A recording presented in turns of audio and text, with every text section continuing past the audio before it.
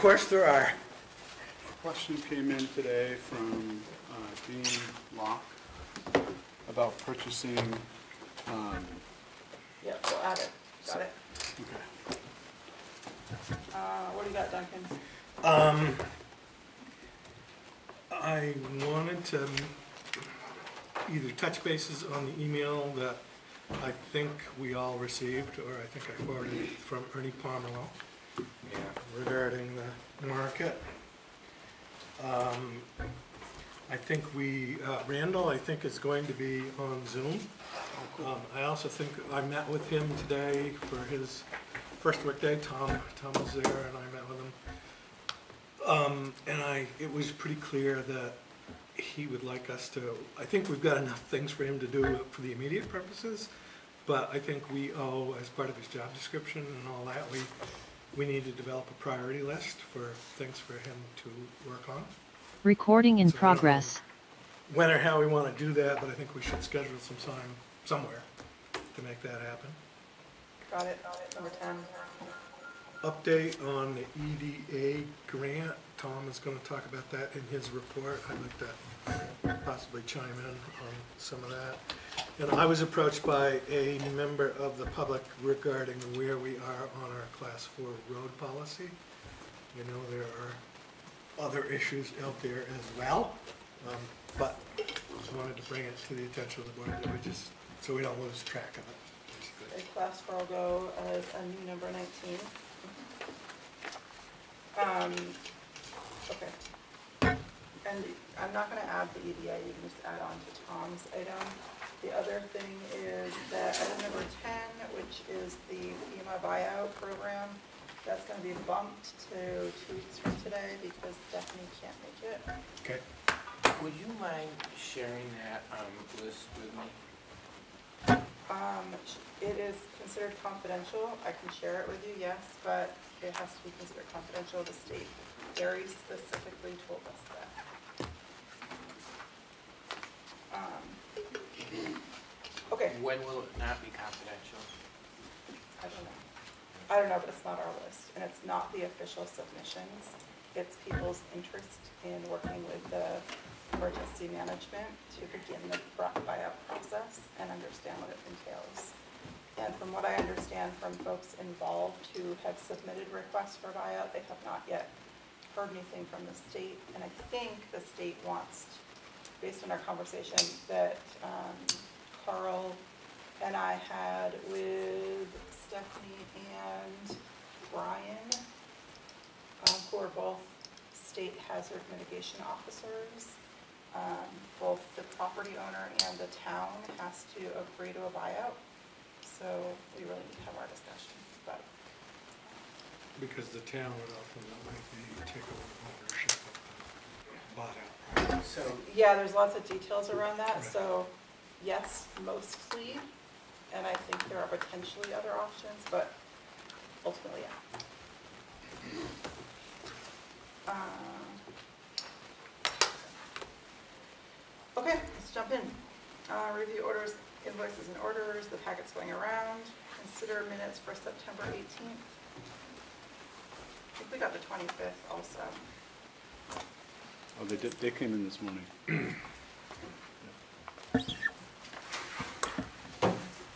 I would move to approve the minutes of the 18th. I honestly haven't looked at the, well, I wasn't even at the 25th meeting, so Yeah. doesn't matter if I look at them or not. So we have a motion for the 18th, do we have a second? Second. Any discussion? All those in favor? Right? aye. Let's have it. Any issue, uh, select board issues or concerns? Is Rosemary zooming in tonight? Why did I think she Is was? Rosemary zooming in? She's got a lot of, s- well, I was under the impression she might, but she also, um, in the back of all of your packets are, each person has financials. Um, So if she does not zoom in, um, we can I- go over Just for those. some reason, I thought I saw where she might attend. is issues and concerns a good spot for Duncan to give an update on his meeting, or is that separate? EDA, you mean? Uh, meeting? the, well, the email that he received from Ernie Pomeroy. Oh, yes, yep. Uh, well, we're gonna talk about market. There's an item for market. We're gonna talk about market in replace of number ten. Oh, okay, yep, In place of number two. my bad. Okay. Um, we got the email about the cemetery, uh, cleanup. Also, I got an email about ATVs going from the direction of the village onto Rocky Road.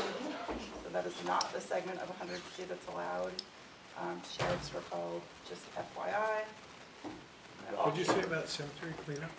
Uh, that you, that you replaced that stone. Oh. here. I Yes, didn't, thank yeah, I you. didn't replace it, I righted it. Reset it. Thank you Yes. very much. Reset it. Looks Um, good. Yeah. What were you gonna say? I just said thank you. No, before that? I was just thinking, is that Okay. okay? It was, it was grimacing. No, you were about to say something, but it's okay. Uh, fine, yep. Approved. It's hard to be in a room like that. Wonderful. You like just read your mind. I know, it's true. Uh, I try not to read yours.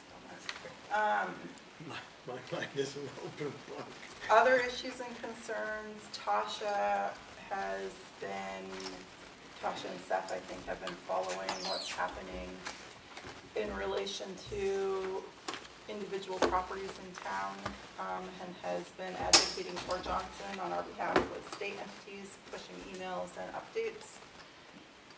Um, Additionally, I received text messages today, I wasn't able to connect with Melanie Carpenter, who's working really closely with United Way.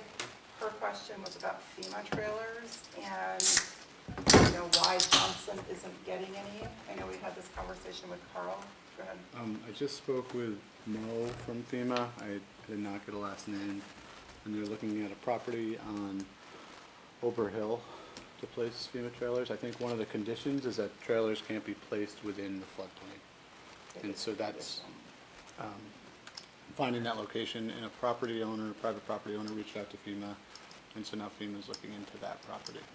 Okay, cool. That's good.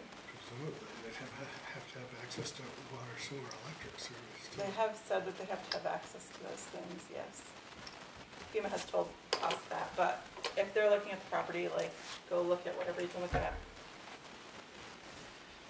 Are we still on issues and concerns?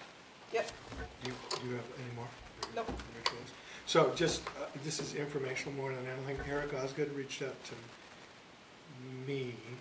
He and David Williams have been discussing things that might be able to be done to kind of comprehensively plan for floods. um, All the way up and down the river corridor, which is something that you know, Beth and I talked about at the LCPC board meeting the other night. Um, he basically asked if I would reach out to LCPC. The letter is, they're, they're working on a letter, and the letter would be sent to select boards up and down the Lamoille River Basin for all the towns and some other agencies and entities. He's basically wondering if LCPC would agree to act as a initial, at least, um, coordinator of a meeting. It could even be a Zoom meeting. Uh, So, it's just by way of information, I'm gonna reach out to Tasha and see if, if LCPC is interested in taking that on, but it's, the effort is Eric and David Williams, um, not, not our effort per se. Perfect. And they would probably include Hardwick. They would include the, in every town up and down the the river water basin. side. I mean, that's huge. So it really involves four different regional planning commissions, multiple counties. um, Okay. Good, thanks. Okay, any other issues or concerns? Um, I got a letter, I just gave you a copy, I just opened it today, about, um, I haven't read it yet.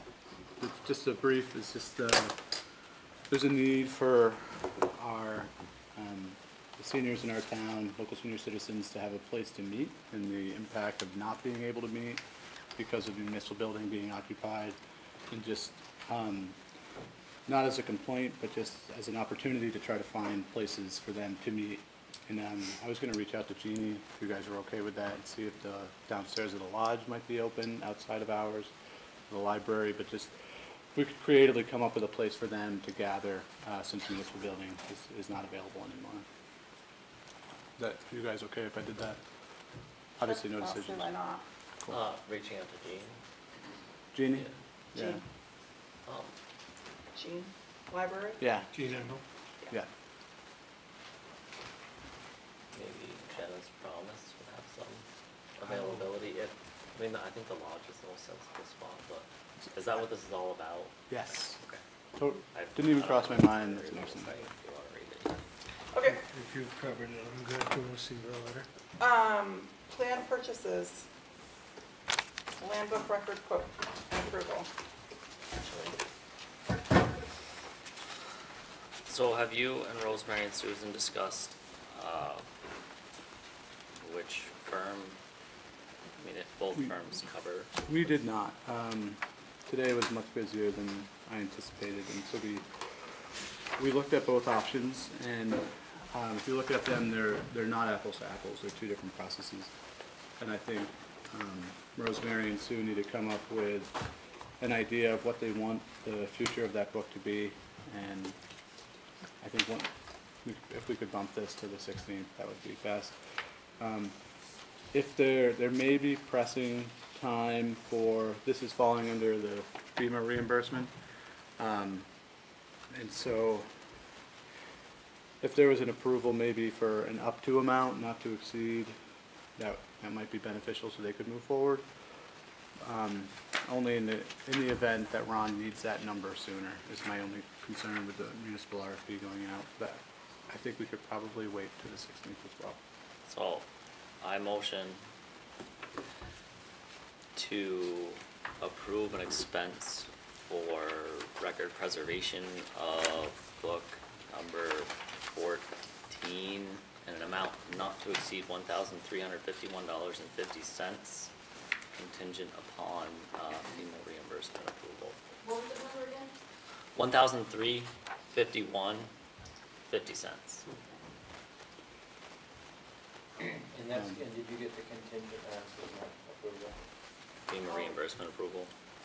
One, one process is just rebinding the book that was ruined, and the other process is an actual restoration of the, fi- each individual page. But that's the larger sum, so. Exactly, That includes, that is in the thirteen fifty. That's in the thirteen fifty-one, and just, the conversation needs to evolve around the usability of both processes, right? It has to be available for land record research, and so if the five hundred dollar one is not going to meet that requirement, then we have to move forward with the thirteen fifty-one.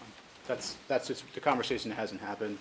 The book is in the freezer, uh, in that per co-file, and so that's why we can't, we have to all meet at the same time, we can't just take, look at it individually. Um, So I don't think there's been a second yet to your motion, has there? Has not. Okay. Would you like to make a second? I'm gonna second it for the purposes of discussion. Okay, And then I have- discussion? And then I have a discussion piece. So, can we assume that the five hundred dollar quote is just to deal with the flood-related aspect of damage to the buck? I don't know that we know the full scope of how, how damaged it is. Um, because of the state that it's stored in. Um, Sue and I took it out the other day and looked at it, and it's, so I used to do a lot of preservation annually in my previous. And it's frozen, so you don't wanna like, you don't wanna start, Right. you got it, right, pages are sticking. apart? Yeah, and so we just need to make sure what's there. And then there's another option that's not on the table, is if, if ink bled, hopefully they used India ink and not um, more recent type. If that ink bled, then it's probably talking to Visara and having a new book printed off the microfilm. And so it's just working on what is the best for the, the future use of that book is for land records research, right? And so making sure whatever that decision is, has that use, is achieved. You can't, you don't want to restore a book that's all bled because you can't use it for research. Um, It's not a historical artifact, but it's actually a working document that needs to be available to the public. Well, I would argue that it's both, but. Exactly, yeah, yeah. But, but I get, I get your point. So my- Yeah. the reason I asked the question was, um, we have a normal budget th- to deal with restoration of land records, there's a Yeah, dollar a page fee that's collected for that. yes, statutorial recording. Yeah. Yeah, yeah. So I guess I'm fine with restoring the book. I guess my caveat would be that your caveat about a FEMA approval would be if it costs more than FEMA's willing to reimburse, I think that's a Rosemary decision, whether to fix the book according to her needs for Yeah, yeah. records. So propose an amendment, please. Um, I would propose just eliminating the sentence or phrase about contingent on FEMA approval. You got that, Donna? Friendly amendment from me. I, I gotta be honest, I'm gonna heavily rely on Rosemary and Susan's. Yes, Absolutely. and since I seconded it, I agree to the Perfect. friendly. You're the one that proposed the friendly amendment. I Any agree more to it. discussion? All those in favor? Aye. Ayes have it. Um, I know you don't see this on your list, but purchasing safety equipment, uh, Dean sent an email. I- Do I we did see that need email. to approve that? I mean, it's underneath our We don't need to, but I would amount. like to just talk about one thing, and that one thing is we purchased a bunch of safety vests for flood items. I'm wondering if we can or should reuse, reuse them I have and just get named. four that are still in the packets. That's what I'm talking about, Yep. yeah. Would, would they be able to, could we save the cost of the safety vests if you had four that were in the packet and they simply transfer the lettering onto the back of them? Oh, sure, if they're applicable sizes. Uh, One is for, one is a five XL, uh, and then I have two larges now, I You have don't an know if I've XL got and a a five large. XL. and then a five XL should be, So the, but yeah, totally. That should fit the large and the extra large.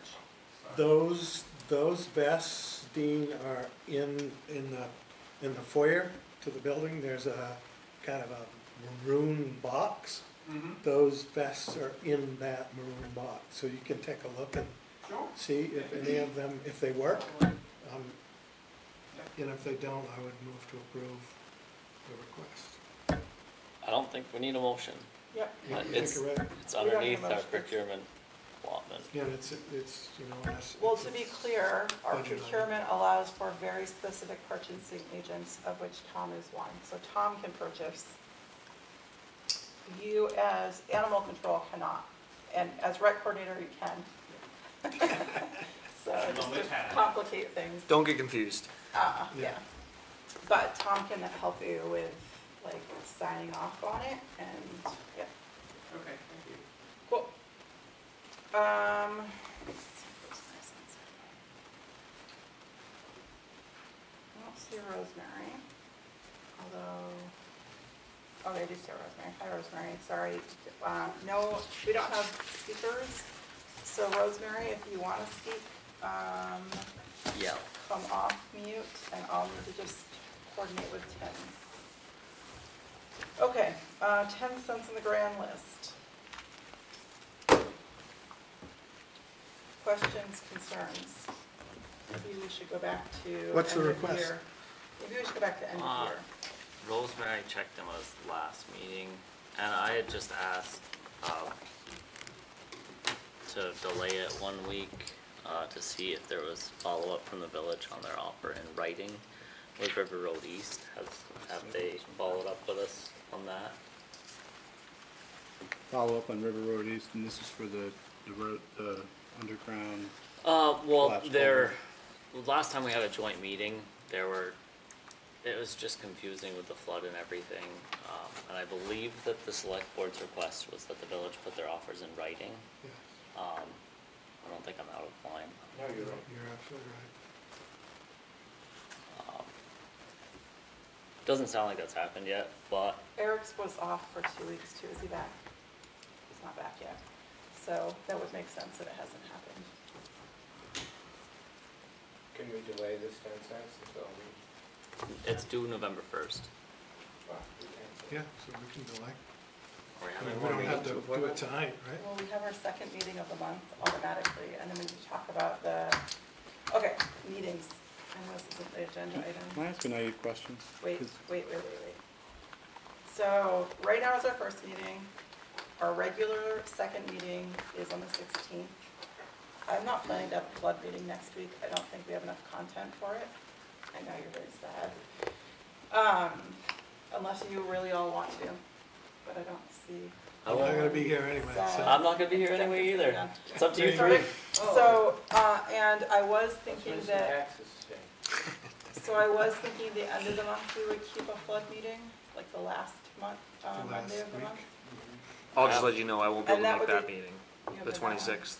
Yeah, the twenty-sixth. I have a different thought, Oh, wait, hold on one second, let me finish my thought. okay? And then that would be our last, like, special flood meeting, and then going forward, we just carry through with the first and the second.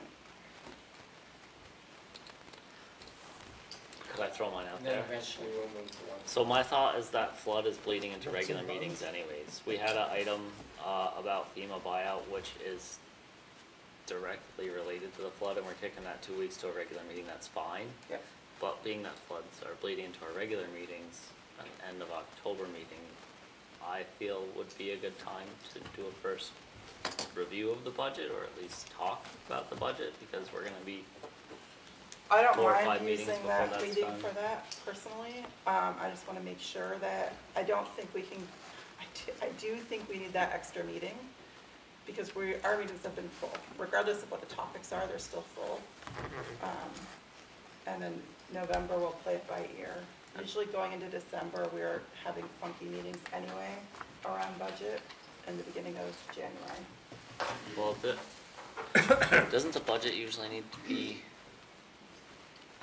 We have a approved hard, by like July tenth, January we had a tenth-ish? hard, like, January sixteenth, I Is it last sixteen? year or Okay, something like yeah. that.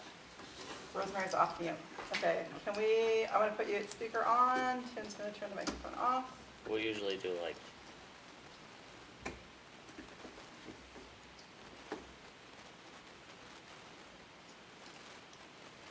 Rosemary, Hello? We can hear you. You I can can't hear any, you guys. I know. yeah, we know, we know. Ready, Tim, I'm gonna turn the speaker off. You should be writing things on paper. Um, Rosemary, you can't hear us because we have to go on mute when I turn my speaker on. We literally can't hear anyone on the Zoom unless we mute ourselves and I turn my speaker on, so that's why. So in a second, I'm gonna turn my speaker back on and you're gonna have the floor. And when you're done talking, we'll switch back. For ten cents on the grand list, right? So, yeah, whatever you wanna tell us. But the question is, no, the question is, what is our deadline for budget? And the second question is, um, for the ten cents in the grand list, what are your thoughts?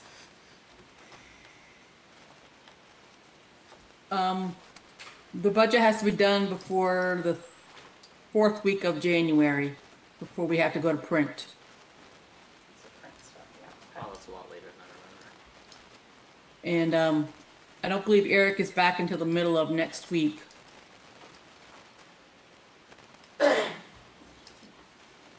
And I have not heard anything from the trustees regarding this.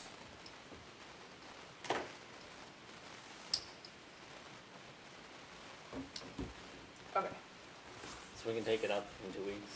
Okay, that sounds good, thanks Rosemary, and yeah, we'll pick up the ten cents in the grand list in two weeks unless you have any Yeah, don't rule objections, and I'm gonna, I'm gonna take my, turn my mic off and speaker on. Tim, are you ready? Got Do we, is that? a- Yeah, I think that will be fine, though. We'll still get it paid before the first of November. Perfect, thank you. Okay, what were you gonna say, Mark? I was gonna say, so does that mean, I gather the fourth week in January is the drop dead for, Like, we, we need to be solid, we should just say mid-January, we need to be solid. okay, yeah. And there is, there is a timeline for the uh, publication of the town warning, Yep, and I, that That is not the last week in January, I don't. Yeah, it's, that's to go to It's early. print, it's ten days before town meeting, you have to have the warning out. If you don't have the warning out, you have to mail the town report to every resident. Um, Oh, joy. Yeah. so, Well, we, which we do anyway. we anyway. mail the town report to every resident. No, we don't. No, really? No, we don't mail it to every resident. Well, we mail it to every, I've always, We do. do you get it? Yeah, Everybody so gets it. It's every resident. We do? So you guys might as well wait till the day before town meeting. Just kidding, Bad. Um, so, no, we need to have our, we need to have everything, we should have everything to the auditor, auditors by mid-month anyway, if we can at all, if it's at all possible, because they have a lot of work to do to compile everything. You don't. Um, Yeah, and, I would, and they're the other portion of the meeting, right, plus all the reports from committees. Special parts for committees, yeah. The thing we do need to do now that it's October is we need, no way. we do need you to start drafting the budget. Yep. Because you need to send it out to all of the different committees, and the committees need to weigh in on what their projections are for year end. And, sorry, we're not year end. What their projections are for this year, this fiscal year, and what they think their next fiscal budget's gonna look like. And it gets confusing for committees, so you're probably gonna have to handhold for a couple. Not a problem. Um, Yep. So that needs to happen too. Pretty soon, because we need to start considering that in November. What? I love the budget process. When we have our first budget meeting, well, we should have a conversation about estimating those year-end expenses and transitioning into a different process because we're in theory having annual audits now. You and I can have a conversation, about it's very complicated. But it's a real pain in the butt to figure out the. You're talking about the estimated cash on hand portion. Which, which ultimately gets into the question of estimating your Yeah, year-end spending. right. Yeah. I love it. It's October. We're Yeah. talking about We're planning about next for year from something. now, almost. Yep, three quarters Talk from now. about planning for something to present in March based on numbers consensus from the two grand years ago list. for next year. We're gonna, we're gonna wait to get that from the Support village. Continuing resolution. Can you just follow up with Eric as a like this week thing to do so that he sees it when he's back? Yep. Thank you. Okay, current budget status report. We have a copy in the back of our packet. We have the cash on hand, current budget, um, previous year. Because I have difficulty wrapping my head around things sometimes, the twenty twenty-three cash on hand is end of fiscal year twenty-two, right? The title just might be wrong. This is Yeah. as of twenty-two, no. It's as of June It's as 30th. of June thirty June this 30th. year. So n- now we're in fiscal year FY twenty-four, twenty-three is always the though year that oh, it's. Because ends. it's ending, okay, yeah, Yeah. sorry. So this is cash on hand as of July one, which was before the flood. Right. Yeah. Yes. Uh, let's ask Rosemary to speak to this, actually. Can Tim, can, Rosemary, um, we're gonna just ask, can you walk us through cash on hand? Where we were at the end of the year, where we are now, and help us digest, uh, flood spend very specifically? Uh, we're gonna give you the floor, you'll do all the talking, we'll just listen for a few minutes until you're done.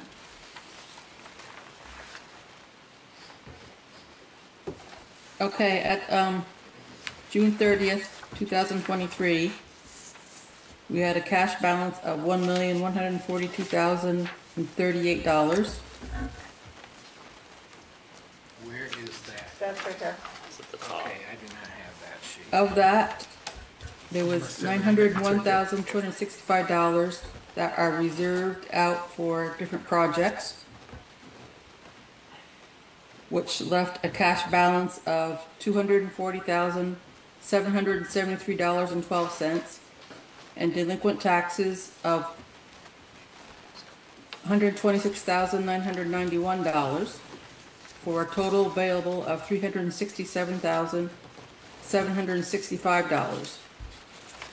And the board had reserved from last year's budget, hundred twenty-five thousand to reduce taxes, sixteen thousand fifty-seven dollars to buildings and grounds, forty thousand and one hundred and forty-three dollars to the um, reappraisal fund, and twelve thousand forty-three dollars to both the capital equipment fund and matching grant funds, for a total of two hundred and five thousand two hundred and eighty-six dollars, which left a budget, which left an uncommitted amount of $162,479, of which the voters approved $40,000 for the economic position, which you have not spent that money.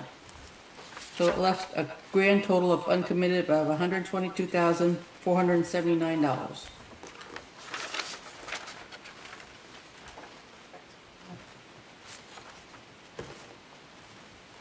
Um, thank you, Rosemary, for all of that. And we have spent far beyond that in flood expenses already, and we have started collecting, um, we've started collecting taxes also for this fiscal year.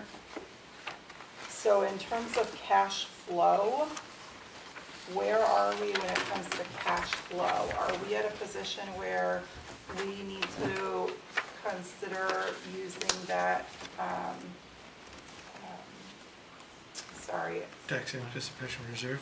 no, well, either, either the tax anticipation reserve or we gave approval early on in the flood to open up a, um, line of credit.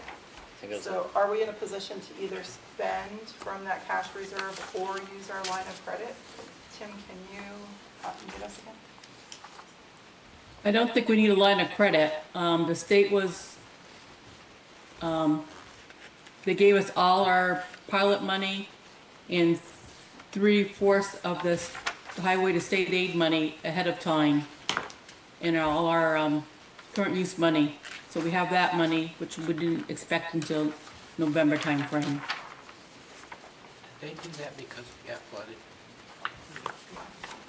You don't usually do that. Yep, good one, thank you. Okay, thanks Rosemary, that is super helpful. So that, that gives us plenty of cash on hand currently, so.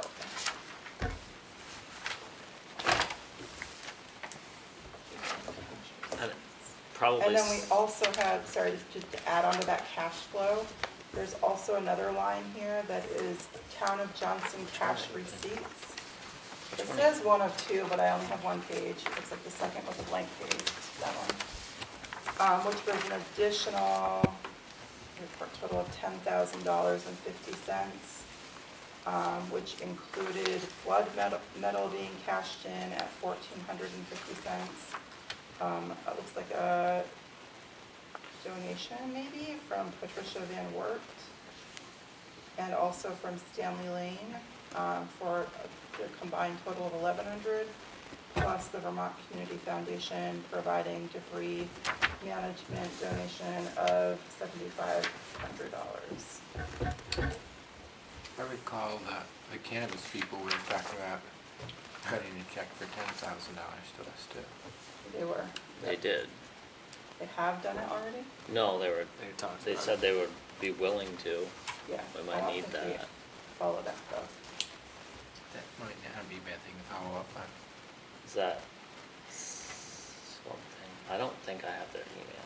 Carl?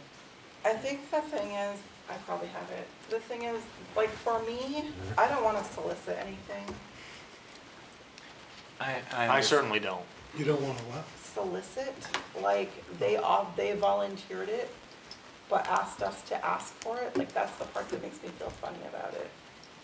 I don't wanna solicit from a business owner very specifically, because I don't wanna put us in a position that we are, we could be, there could be a view of conflict of interest. That's where I'm kinda at. Yeah. Especially when even though it is somewhat of a rubber stamp, we will be asked to sign off on their retail license at some point. And We already, I thought we already did that. No, they No, just they came to meet came- by us. time we yeah, they just came to meet us. Informational, Yeah. yeah. It's Okay. coming from the Well, they state. made that offer at a public meeting, I just, They did, I just. I, I understand your concern and I, and we can just, um, be patient. Yep, You know, I wanna, I wanna just, I, I know you guys are really worried about the cash flow thing. Um, just bear in mind, we haven't gotten any um, reimbursements from FEMA or the state yet. We will, um, and I have every expectation based on past experience that we'll be made largely whole, um, you know, on the expenses. So we've spent a lot of money, but there's gonna be a lot of money coming back in through the reimbursement process. So, yeah, I'm not worried about that part, I'm just worried about the year-over-year cash flow aspect of it. But I don't doubt that we'll get largely reimbursed. yeah. But that may trickle in over quite, a- quite a long period of time, I assume. I would expect that we would have the majority of the funding within the current budget year that we're in. Yeah, we're gonna try to close Okay. out, uh, But we're having that's, an, ins- that's till next July. yeah, we're having a meeting, um, hasn't been scheduled yet, for an inspection of five of the ten damaged sites. And once that meeting's done, those are gonna get closed out and reimbursed relatively soon. It's, the projects that are gonna take longer are the buildings that still need contractors to visit. Have we been reimbursed for the, um, trash? I don't believe so, nothing. I think that's one of the closeouts. That's gotta be That's one of the a closeouts. substantial. I That we're, really that like we're to hear trying that. to, Sixty-nine thousand dollars, Mark. There you The re- That's what it, in the, the budget breakdown that we got, there's, towards the end of it, um, there's a breakdown of Uh, how much we spent on flood I stuff. really have to review it. Well, it's just, you know, There This is was. just payroll. I don't know how we build a budget with this, this amount of stuff hanging out there. that's that, the, is Rosemary, Rosemary still there? Yeah, I mean, one of the things Yeah. That we're, that we're trying to do with that, those ARPA funds, and is when this, it goes into the general ledger, um, those funds will be used to bridge the gap between FEMA reimbursement and end-of-year, um, costs. If we choose to If- do that. Yes, you know. That's one option. And so we, you voted to move it into the general fund, and so that's there. And so now the voters have to co- go in March, and they'll learn about the options, what's the best to do, whether to move the surplus, which might be the whole amount of FEMA, or it might not, into a reserve fund. And, um, and then there's options of using that to, to re, how do you reimburse that reserve fund from future years' unexpended funds? Hopefully we're all reimbursed, so there are no future year unexpended funds. Right. You know, but there's that, but then that's where the voters aren't left in a hole because we have that blessing of these, those ARPA funds that were just moved in. But you can also treat it as, a- as an accounts receivable. Um, So if we, if we know what the amount, if we simply haven't been paid by the close of the Right. fiscal year, we can treat that as, you know, as accounts receivable. Yeah. Um, I don't know, better be paid by next July. Well, Maybe, yeah, I would, I would certainly hope that we would be for, for everything. But it- some of that's gonna depend on, like, the RFP we're talking about Right. tonight, Right. when that work actually gets done, whether there's a contractor out there who's available to do it. Yep. You know, No, there's I a hear lot you, of, I hear you. lot of moving pieces. does anyone have co- questions for the end of year that we got last week? I have, the That's one, bro. La- The end of year, end of fiscal year twenty-three? the, the one that's entitled the, It um, might, cash on might be hand. more than Report. just No, the surf. no, not might be cash on hand, just the Oh. budget, Oh, Okay. Yep. unless you have more on cash on hand. Well, the one, have one thing I had on cash on hand, which we can convey to Rosemary, is, um, right now, she's deducting the forty thousand that was approved from the amount that is cash on hand for the community economic development. Position and, Because it's allocated. well, it was, yeah, it was, it was approved as, as a, Yeah, so, but it ends up being part of the cash on hand. So she's right now reserved that out yeah, from the total amount. In that, since we didn't, since it was raised and we didn't spend it, we need to have a discussion about whether or not we wanna use that forty thousand. Whether that, whether we treat that as part of the cash on hand or whether we reserve it. Or we apply it to our salaries, Yes, yeah. I'm not ready to have that conversation. I mean, the. the no, I don't think we need to have it tonight, I think, I think it's a, right, I just wanted to point out that she's showing it as reserved out. That- Yeah, And, and it may or may not be that, that we end up doing that. yep, okay. Um, are there any questions about budget year end though? I don't think so. No. Are you sure? 'Cause You asked a question. An email. When? Oh, I asked, I mean, this, the cash on hand answers my question. Okay, perfect, good. Um, I think the cash on hand statement's a lot easier to understand than, Yeah, I Year-end was, report. I was a little bit lost. And is this, I mean, yes, where's the paving holdover and all that? Show, I just have to look at it. If I have a question, I could always this. ask. Okay, yeah, perfect. Um, Rosemary, do you have anything else you want to add for cash on hand or budget year end? Jen, can you read us? Evan, uh, all the paving we reserved has been used for this past paving cycle. You need supply. Oh, because we spent all of She can't hear you. last, She can't hear you, but it's because. There was about $169,000. Because it's expenses, so it doesn't carry into this cash on again, that's It where was multiple years just confused me, because if we're, we The combined, paving for last year was over three hundred thousand dollars. Right. But we, She still can't hear. Tim, No. can oh. we? can we no, no, get- no, no, that's fine. We Okay. spent four fiscal years worth of money on the paving, so I was just trying to track how that one But went the out. last of it was applied to our fiscal year twenty-three. So when fiscal year twenty-three closed, it no longer stayed in cash in hand because it's applied to our budget. It's been applied, like it's Gotcha. there. I see it now. Took me a second. Okay. Rosemary, do you have anything else that you want to point out on end of year budget or cash on hand? No, I don't think so. Nope. Uh, okay, nope, sounds good. And then current budget status. We said we're good on current budget status. Okay, cool, thank you. Jason, uh, actually, I should ask Rosemary, sorry, I need to ask her one last question. Rosemary, is there anything else that you had on your list, no licenses or anything else you need from us? Yeah, I didn't have any tobacco or liquor licenses this month. Okey doke, thank you very much. Okay, Jason Whitehill will attend, but he left just in time. Here he comes. I guess we're Uh, gonna send an email anyways. Okay. Hey Jason, you ready? Sure.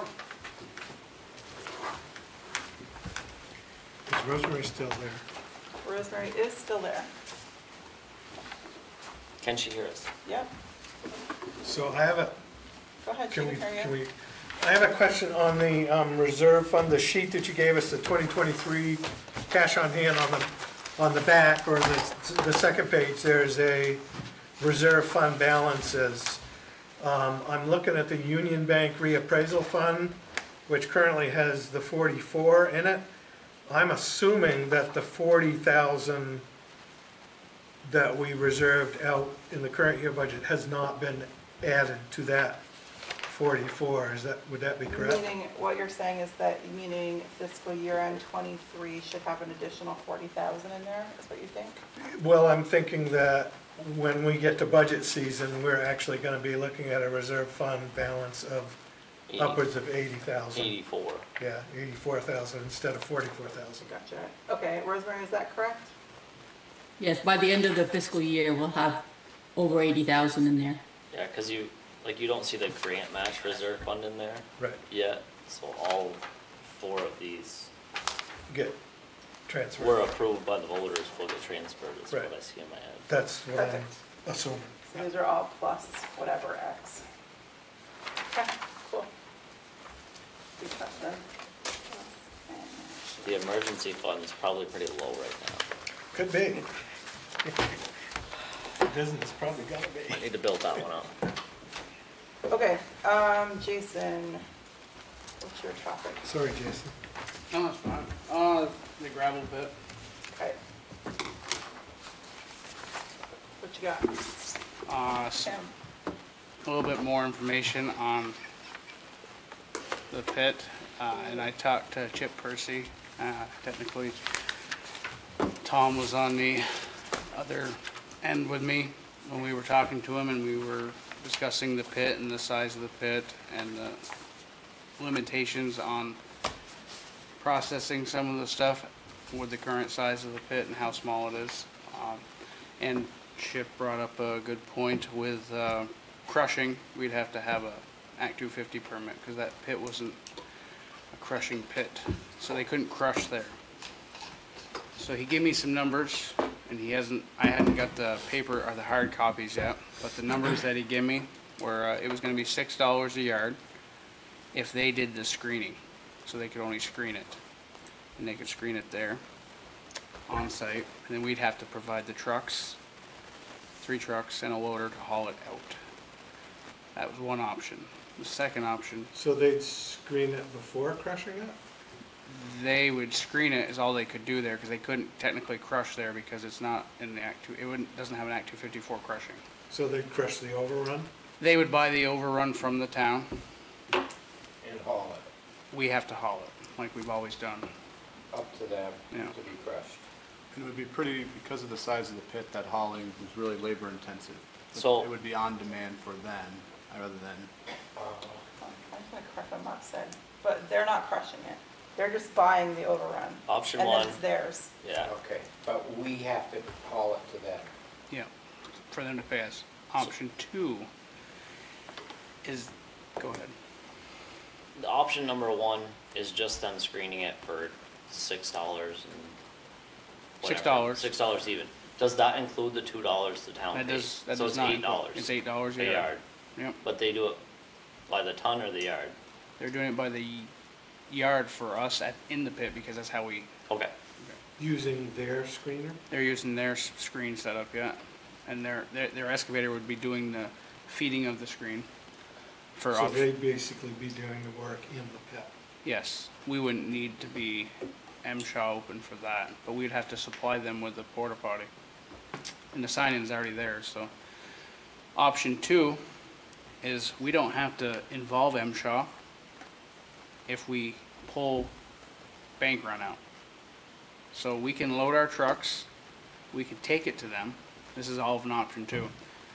And they'll do the processing of it, so for every two loads we bring them, we get a load back. And we can either get it back in winter sand or crushed gravel. And they'll supply the excavator in this deal of option two to mine the material out of the pit because the space is limited. Why would they do that? And ask us to use our excavator? We don't have an excavator, so that's probably why there. But uh, they, because he know, Chip saw the pit and knows how Okay. time consuming it's gonna be to get the material up out of the hole where it is. And so out. option number two is essentially just driving trucks. Op for us would be just taking the material out, paying two dollars a yard for every yard coming out. And we're think, Chip thought and I thought there's anywhere from seven to ten thousand yards left there. Depending on how, where the ledge is and how it's gonna show itself once we get down to that lower level. We don't know exactly where the ledge is gonna, we know where it is on the upper half, we don't know where it is on the lower half yet. So you maybe got two years' worth of gravel left? Yeah, well, if we, or two years worth of sand technically, the fractured stuff is a superior product for the road. It walks, at Wickham Island's a perfect example, the fractured versus the gravel out of our pit, it's just round rock, it doesn't have the same compaction or hold, so. Um, do we know what the cost of these two are, like side by side? Because there's, there's cost when it co- comes to running our trucks in terms of labor and vehicle, right? And then there's also, Cost of employee, that's labor. Uh, but there's also like, they're screening in both cases. The second case crushing. does, they do The crush. crushing, yeah, over there that at the- crushing On, on their aspect. site. Right, when we say the two for one, like, I assume one is more expensive than the other, can we always choose the more expensive option for the return? Like, what does this look like when we run out numbers, As far as, as far as total cost, like, cost to the town? So I think, I don't just mean like soft numbers, like, like, I understand what you mean by the yard, totally get it, but there's gonna be a difference between us hauling overrun and us hauling every load out without it being screened first, for the example. first option actually puts more pressure on the highway department is because of the tightness of the pit, as it came through the screen, the, the, their load, the town's loader and the town's truck has to get it out of there ASAP because there's not enough room for their excavator. So it's actually, option one, it's the same number of truck trips, whether you're hauling it from, whether you're hauling it screened or whether you're hauling it unscreened, it's the same amount of material that has to be moved by the town. The distance is slightly So what do you prefer? Correct, yes. You, you folks are the professionals, what's the best option? My honest opinion, the best option is the second, the second one, because it gives us the ability to haul it there at our schedule. Because they would need us for three weeks tied to them if we have them come in. Um, Yeah, Yep. I like that. So that we haul it up to them, and he gives us a credit, or he can give us a Yeah. check, he said, or, uh, So we'd be buying, I believe it's the equivalent, it's over the scales, but it's equivalent of about four dollars a yard. And then we would buy it back at six dollars a yard and the two dollars to NATO, is that correct? yeah, he did it in tons when we brought it up. So it would, and they charge us twelve dollars a ton for stuff, so it'd be half, the equivalent would be half, because the processing of it. And as far as the trucking, to answer your question, we have to truck it out no matter what, and then we have to truck the oversizes to Na- or NATO's Percy's.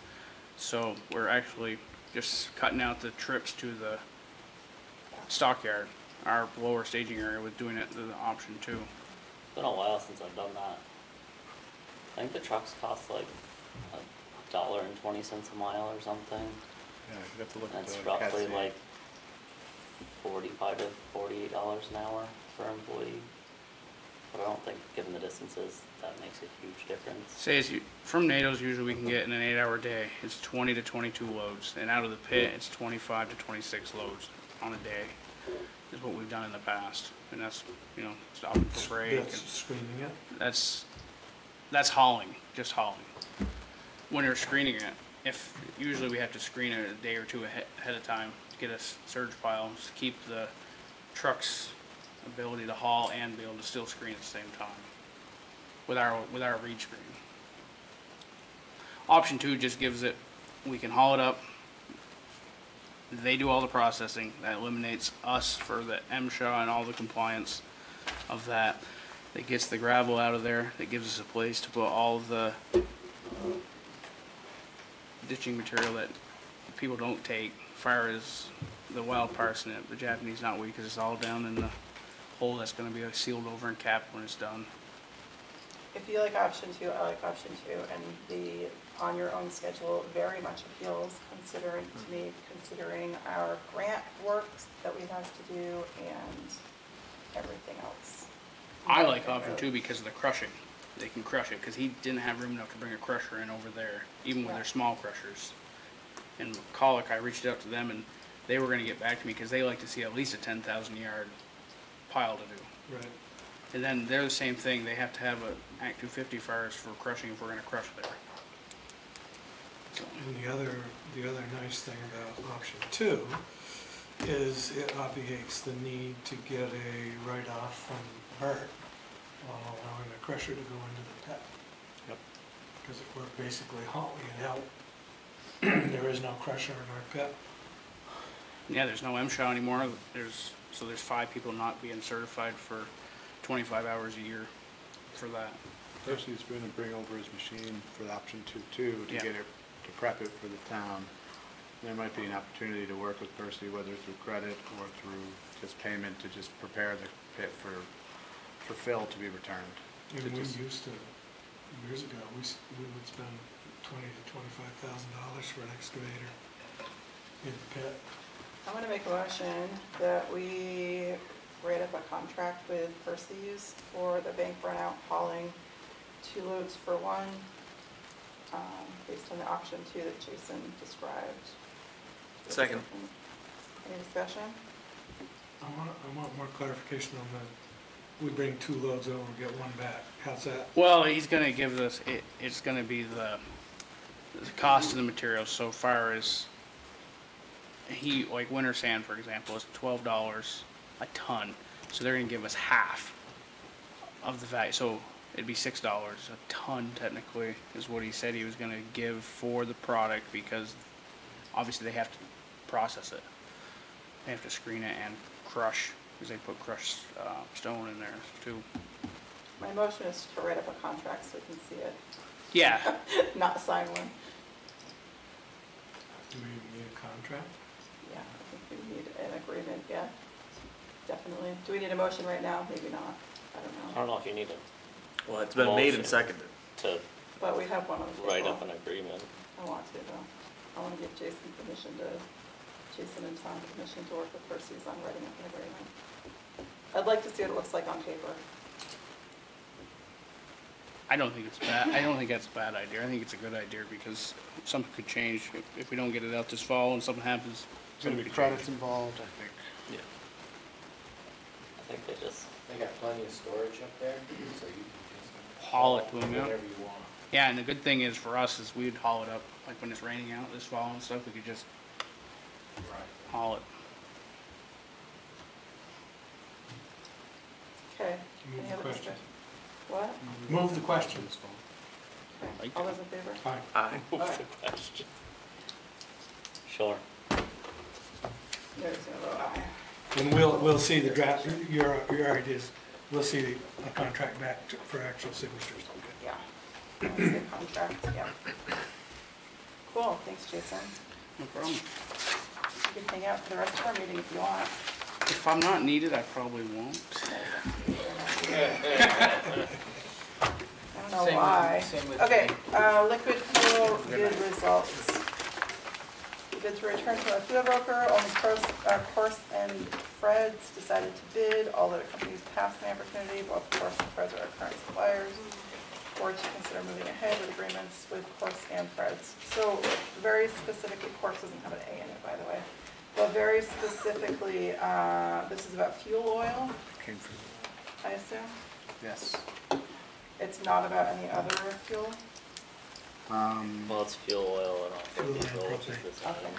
And propane, yes. And propane Price is is on here, propane. yeah. Uh, so, But course bid only for, uh, fuel oil, I believe, and No, of course didn't bid on propane?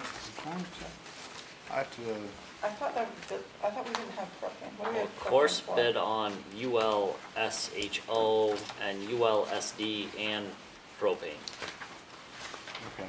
What ULSD is? Ultra low sulfur diesel. That's a guess. I think you nailed it. ULSHO? Ultra low sulfur heating oil, Yeah. even though they're the same thing. They have different acronyms and different prices. No, they're the same price. No, they're different prices. They, they Am I keeping you same guessing, price, Donna? shouldn't they? They should be the same price. They come on the same truck. One's got dye and one doesn't. I think they both do. Do they both have dye? Yeah. I think the heating fuel doesn't have to. Might not have. Well, to, we- but I've yeah, always seen it with it. But we can burn, we can burn non-dyed fuel in our trucks because they're municipal. Yeah, We you could burn guys both, Buy, yeah. do you If they buy put off, off-road in. off-road, or do you have a diesel tax exemption? Jason, come back. Because we're municipal, we, Good. They, I think we have a tax exemption, but we also can, Burn off-road. we can burn off-road diesel in our municipal. pretty sure that's what they do, cause they pull Yeah. it up to the tank that's out behind. Okay, but we're not doing propane, correct? I thought the village was doing propane. Right, the original kind of agreement was the town was gonna select a fuel purchaser, and the village was gonna select a propane purchase, or agent, company, shore, whatever it is. Okay. 'Cause I think the- we're seeing it all together. The village purchases the majority of the propane, the town purchases the majority of the fuel oil, So, and neither one would be looking for a higher price.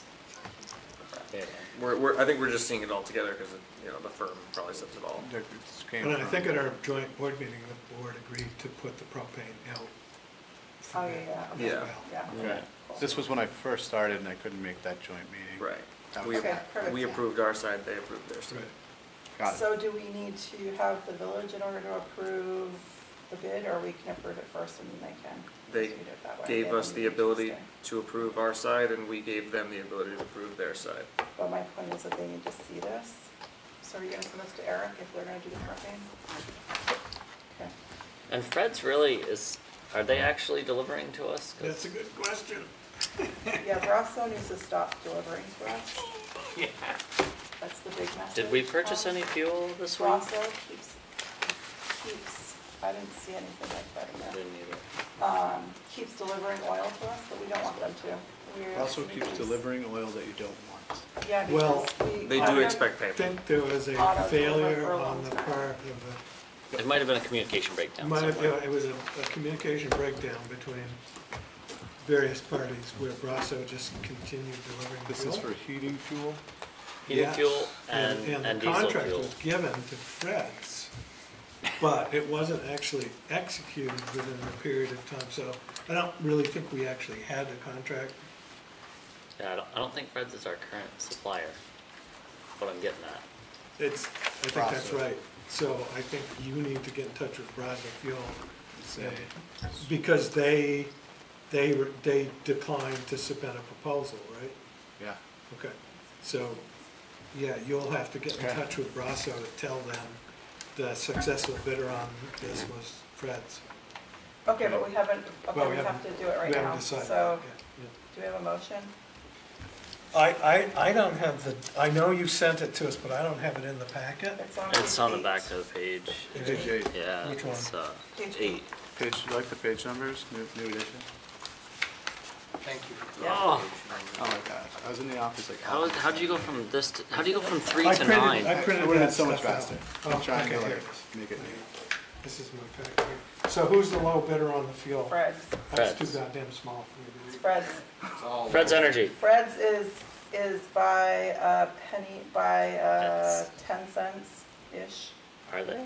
And is that Nine based on a, an over-the-rack price or a fixed gallon price? It says adder fifty cents, and then it says cost plus price. Uh, so for ultra low sulfur heating oil, course fuels is three dollars seventy four point five five cents. Fred's Energy is three dollars sixty five point nine cents. And somehow, the ultra low sulfur diesel is uh, ten cents more a gallon roughly. That's for the highway tax. And I thought the last time But we we- did this, we talked we with don't need- Fred's and they agreed to give us the same price for Yeah, the diesel and the so we heating could just fuel. ask. Yeah. Yeah, but How we I've done put it in the past is that company in the you middle of it. file with the state a diesel fuel tax exemption, you get a two-year license, you submit it to Fred's, and then Fred's brings the, the diesel over undyed, because newer trucks, sometimes you can risk voiding warranty if you use off-road diesel. So that's, I can work with Jason on that, and however he wants to do it, but that's, you, there's two ways around it, but as, you don't have to pay taxes, and the price will always be the low price. And my understanding is there's no difference between the heating fuel and the diesel fuel. Yeah. But may- maybe there's, maybe there's, Well, they put a tiny bit of kerosene in home heating oil, in the wintertime, they, they do. yeah. which is when we go through the majority. Well, ma- maybe not even the majority of our fuel.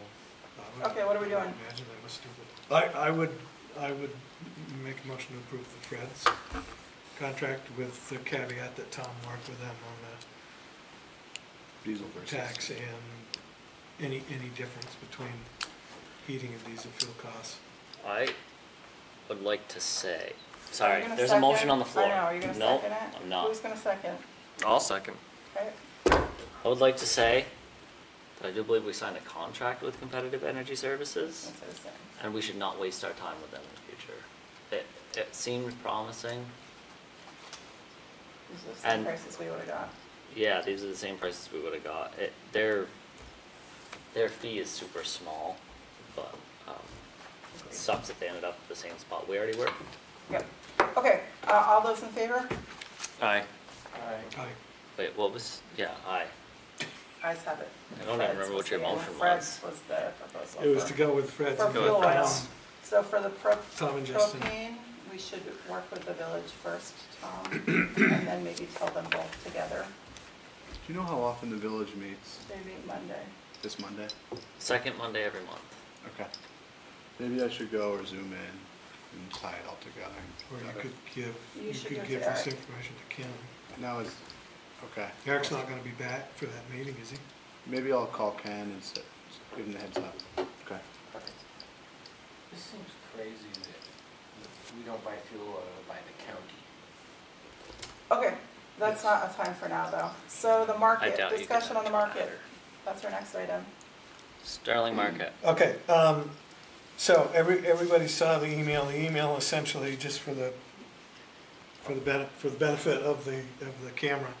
Um, Ernie Pomerleau indicated that uh, the Associated Grocers Board of Directors has indicated that they do not want to participate in the revitalization of the Sterling market. So basically, Associated Grocers is pulling out.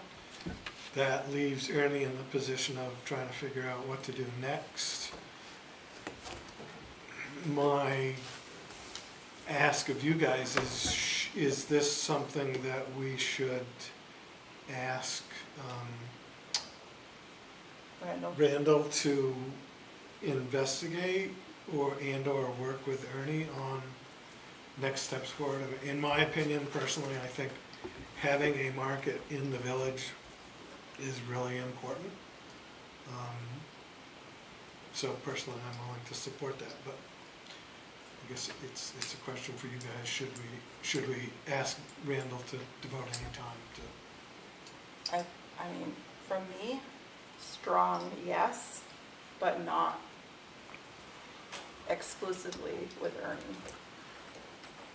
Whatever that means, I don't know. You don't know what it means? I don't know what it means, but I do know that it's probably, that's probably the lowest point in our town when it comes to flood area.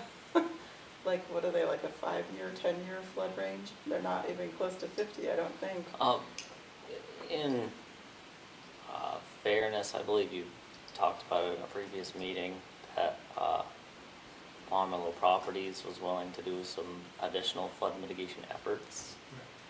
Um, so I guess I'm with Beth, I'm supportive of, uh, the town trying to get a market back and seeing if we can assist in, in that portion.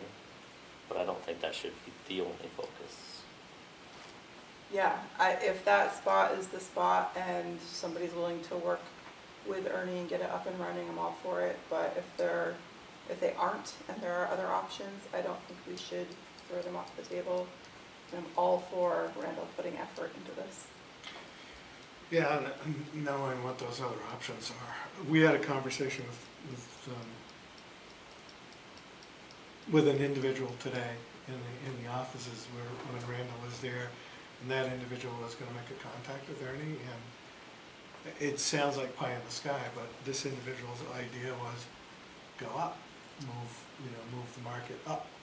And it's, and if, if it requires an elevator, um, you know, so be it. Um, but this individual is gonna contact Ernie and actually explore that as a, as a possibility or an option. So I, you know. Would there be a slide?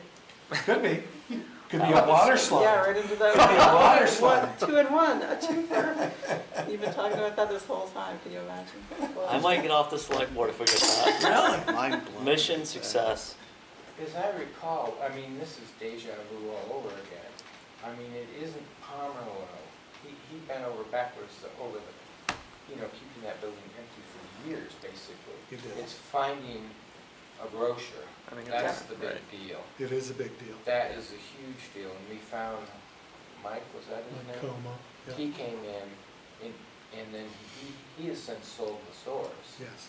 To All of Associated them. Grocers. Yeah, um, Yep. that's the thing. I think Pomerleau has been very generous with us and will continue to be generous. It's finding somebody that wants to open a grocery store, pay the rent, Yeah. and, um, buy flood insurance. And, Yeah. and we already kind of discussed at, at a previous meeting about how doing that type of mitigation work, you know, some of it would maybe be affordable, but raising the building up or moving it to a different spot on the lot were kind of non-starters for Ernie because it would just cost too much to whoever the eventual tenant was. Well, he didn't talk, uh, the idea of moving it to a different location on the same lot is an entirely different proposal because it, it's, if you simply went up and maintained the same Same footprint, footprint, Then you aren't triggering Act two fifty. you aren't triggering a whole lot of permit. Floodplain stuff. Right, You're just going up. Which you, you could actually be vastly improving the flood handling capabilities if the lower portion of the building were open and, a- and allowed for the floodwaters to freely, you know, move through it, Floating building. a floating building. Alright, So so, I, I so- talked to Ben Doyle, also the Vermont Preservation Trust. I think it's Preservation Trust Vermont or something. Um, but I did talk to Ben a little bit too, and he basically said, however he and this group can help, they would be happy to be part of the process and help explore, uh, revenue sources and help explore whatever it is that they can do, um, to support us in this. And he very, Preservation Preservation Trust. Trust, yeah. I don't know what I said, but. And I think um, that would be really important because I, to your point, Shane, I, I don't think Pomerleau can do the improvements that he needs to do and rent it at a price that a grocer can afford to pay for the market, Yeah, for the. market area catchment that we've got, the yeah. catchment area that we've got. So that's, that's, the other part of that is not only finding somebody that's willing to do it, but finding somebody that can pay a per square foot rate, which is the equivalent of something that can be provided Yep. to them. Yeah. No, it's- So, um, I'll connect Ben and Randall, and you're connecting Ernie and Randall, sounds like, or, I I certainly can, yep, I certainly can. Tom should be in there. well, Tom has his own job and we have an eco- economic developer for a reason. Tom 'Cause will, Tom's got Tom will lots be going on. involved, And one I'm way or the involved other, whether he he'll likes be it or not, it's involved. true. But yeah, I, I agree that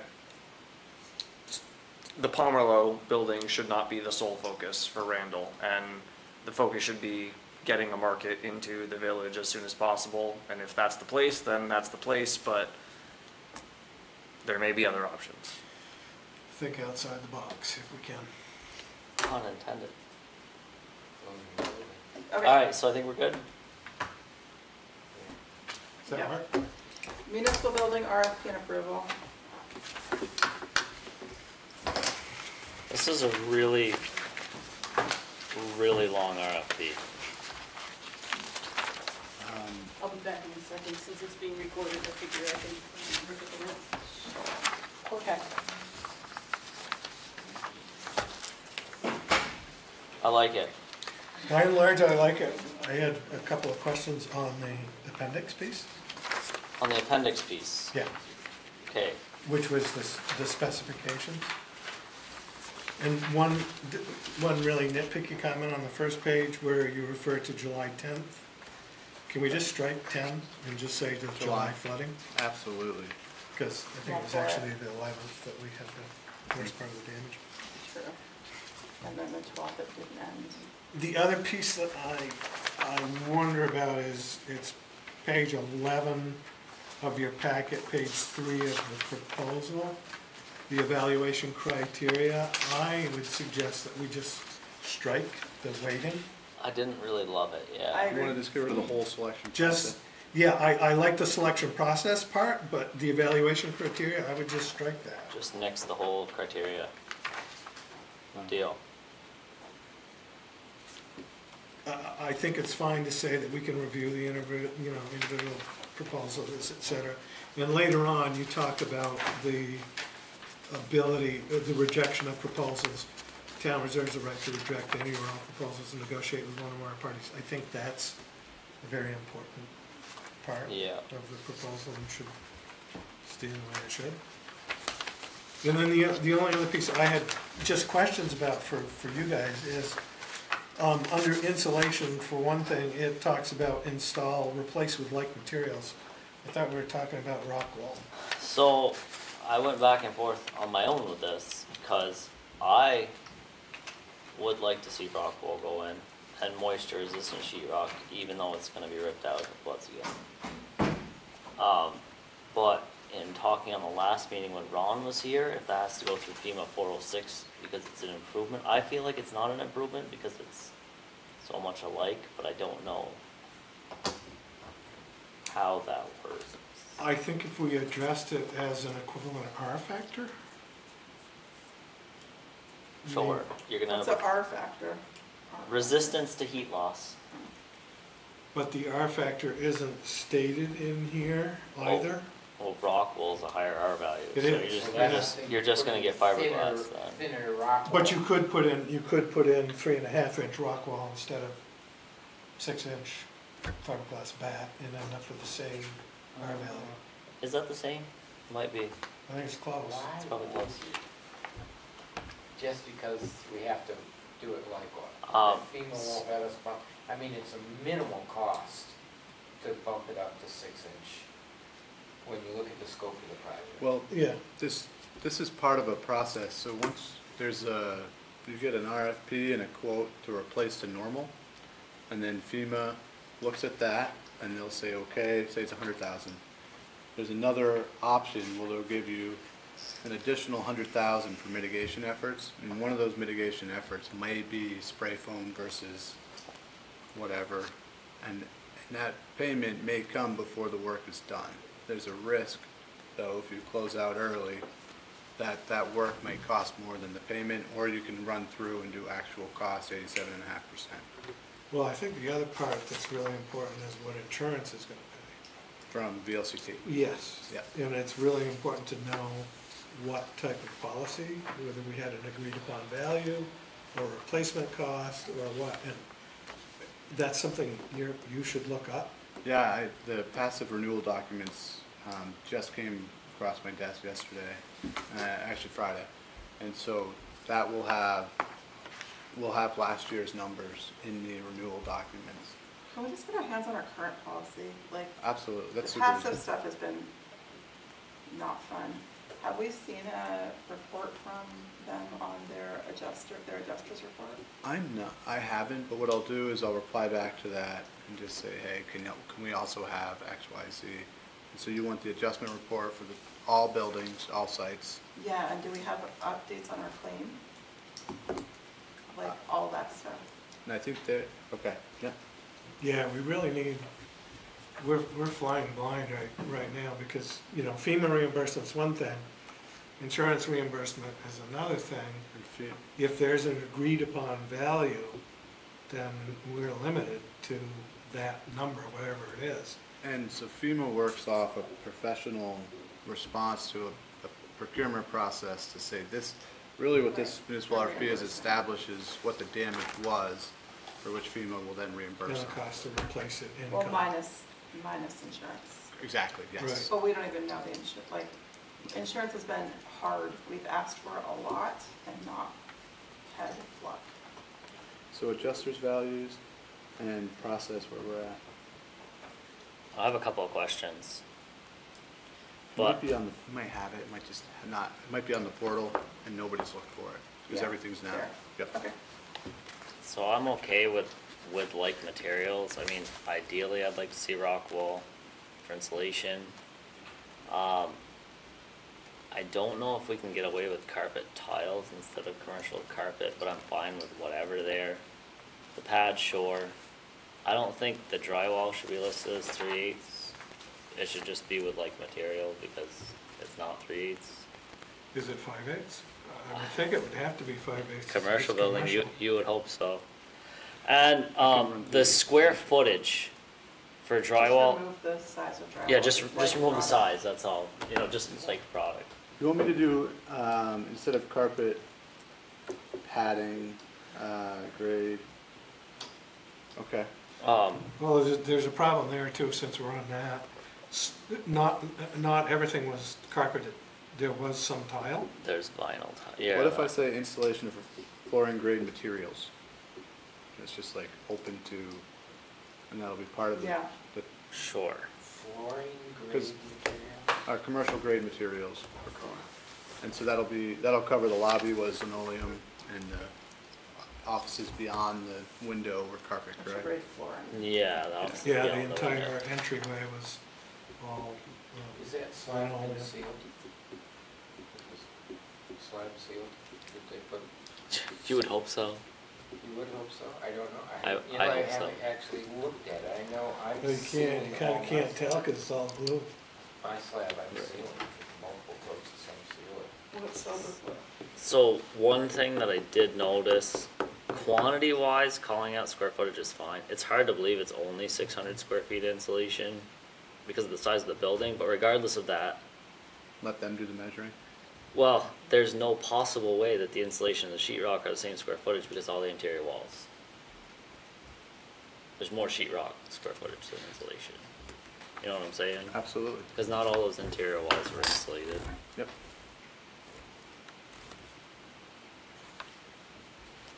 So just, Well, I'll update. No, that's, that makes so much sense, now that you said that. Like- Yep. Whatever works. Um, Yeah, there's quite a bit of. But the thing is, interior like, walls. usually when they do That this kind of insulated. thing, they should just provide, provide us a square foot cost. Why put a quantity at all? Like, let them do That's the measuring. easiest, it's just, Well, probably just, You have to have a ballpark if you want a square foot cost. 'cause- well, we're asking the contractor to fill this out so that we can make better decisions, and so we should have them give us the quantities, I guess, is And probably. don't you usually have like an open house, like we're having, you know, you can, viewing is between whatever times? Yep. Just business hours when I times. don't know how many people are gonna attend, but, The one bidder. right? We- We've had interest from one person already, which is, ex- so hopefully there's. Mark, are you bidding this one? We can make a killing. So do we want quantities or no? Do we want quantities? Because if we're not confident in the quantities, then why would we pick them? I agree. I don't know, I didn't go down there. Well, the, the problem, if you're gonna do a, a competitive bid, um, then if we list, if we, if we are not showing the quantities, then we should have a column for the contractor to insert the quantities. And, and we should have some, in a unit price. Um, So we get an apples to apples. So we get an apples to apples comparison. So if one contractor is saying there's twelve hundred square feet and the other's saying there's eighteen hundred square feet, We'll which Yeah, one but what if he didn't have his left boot on? Right? He's exactly. looking at it crooked. Okay, so, Yeah. The ideal situation is to specify the quantity, eh, so everybody's bidding on the same quantities. The unit price is the same, and a bidder could come in and say, well, it wasn't six hundred feet, there was eight hundred feet. right, And you're gonna pay the unit price on eight hundred feet. that's why, it, you know, No. just, you know, measures should be fine, but it doesn't matter to me. Okay, Somebody's gotta come to a resolution. If we're gonna put quantities in, though, they gotta be right. Deal, Or I'm pretty okay with close. that. As long as they're double checked.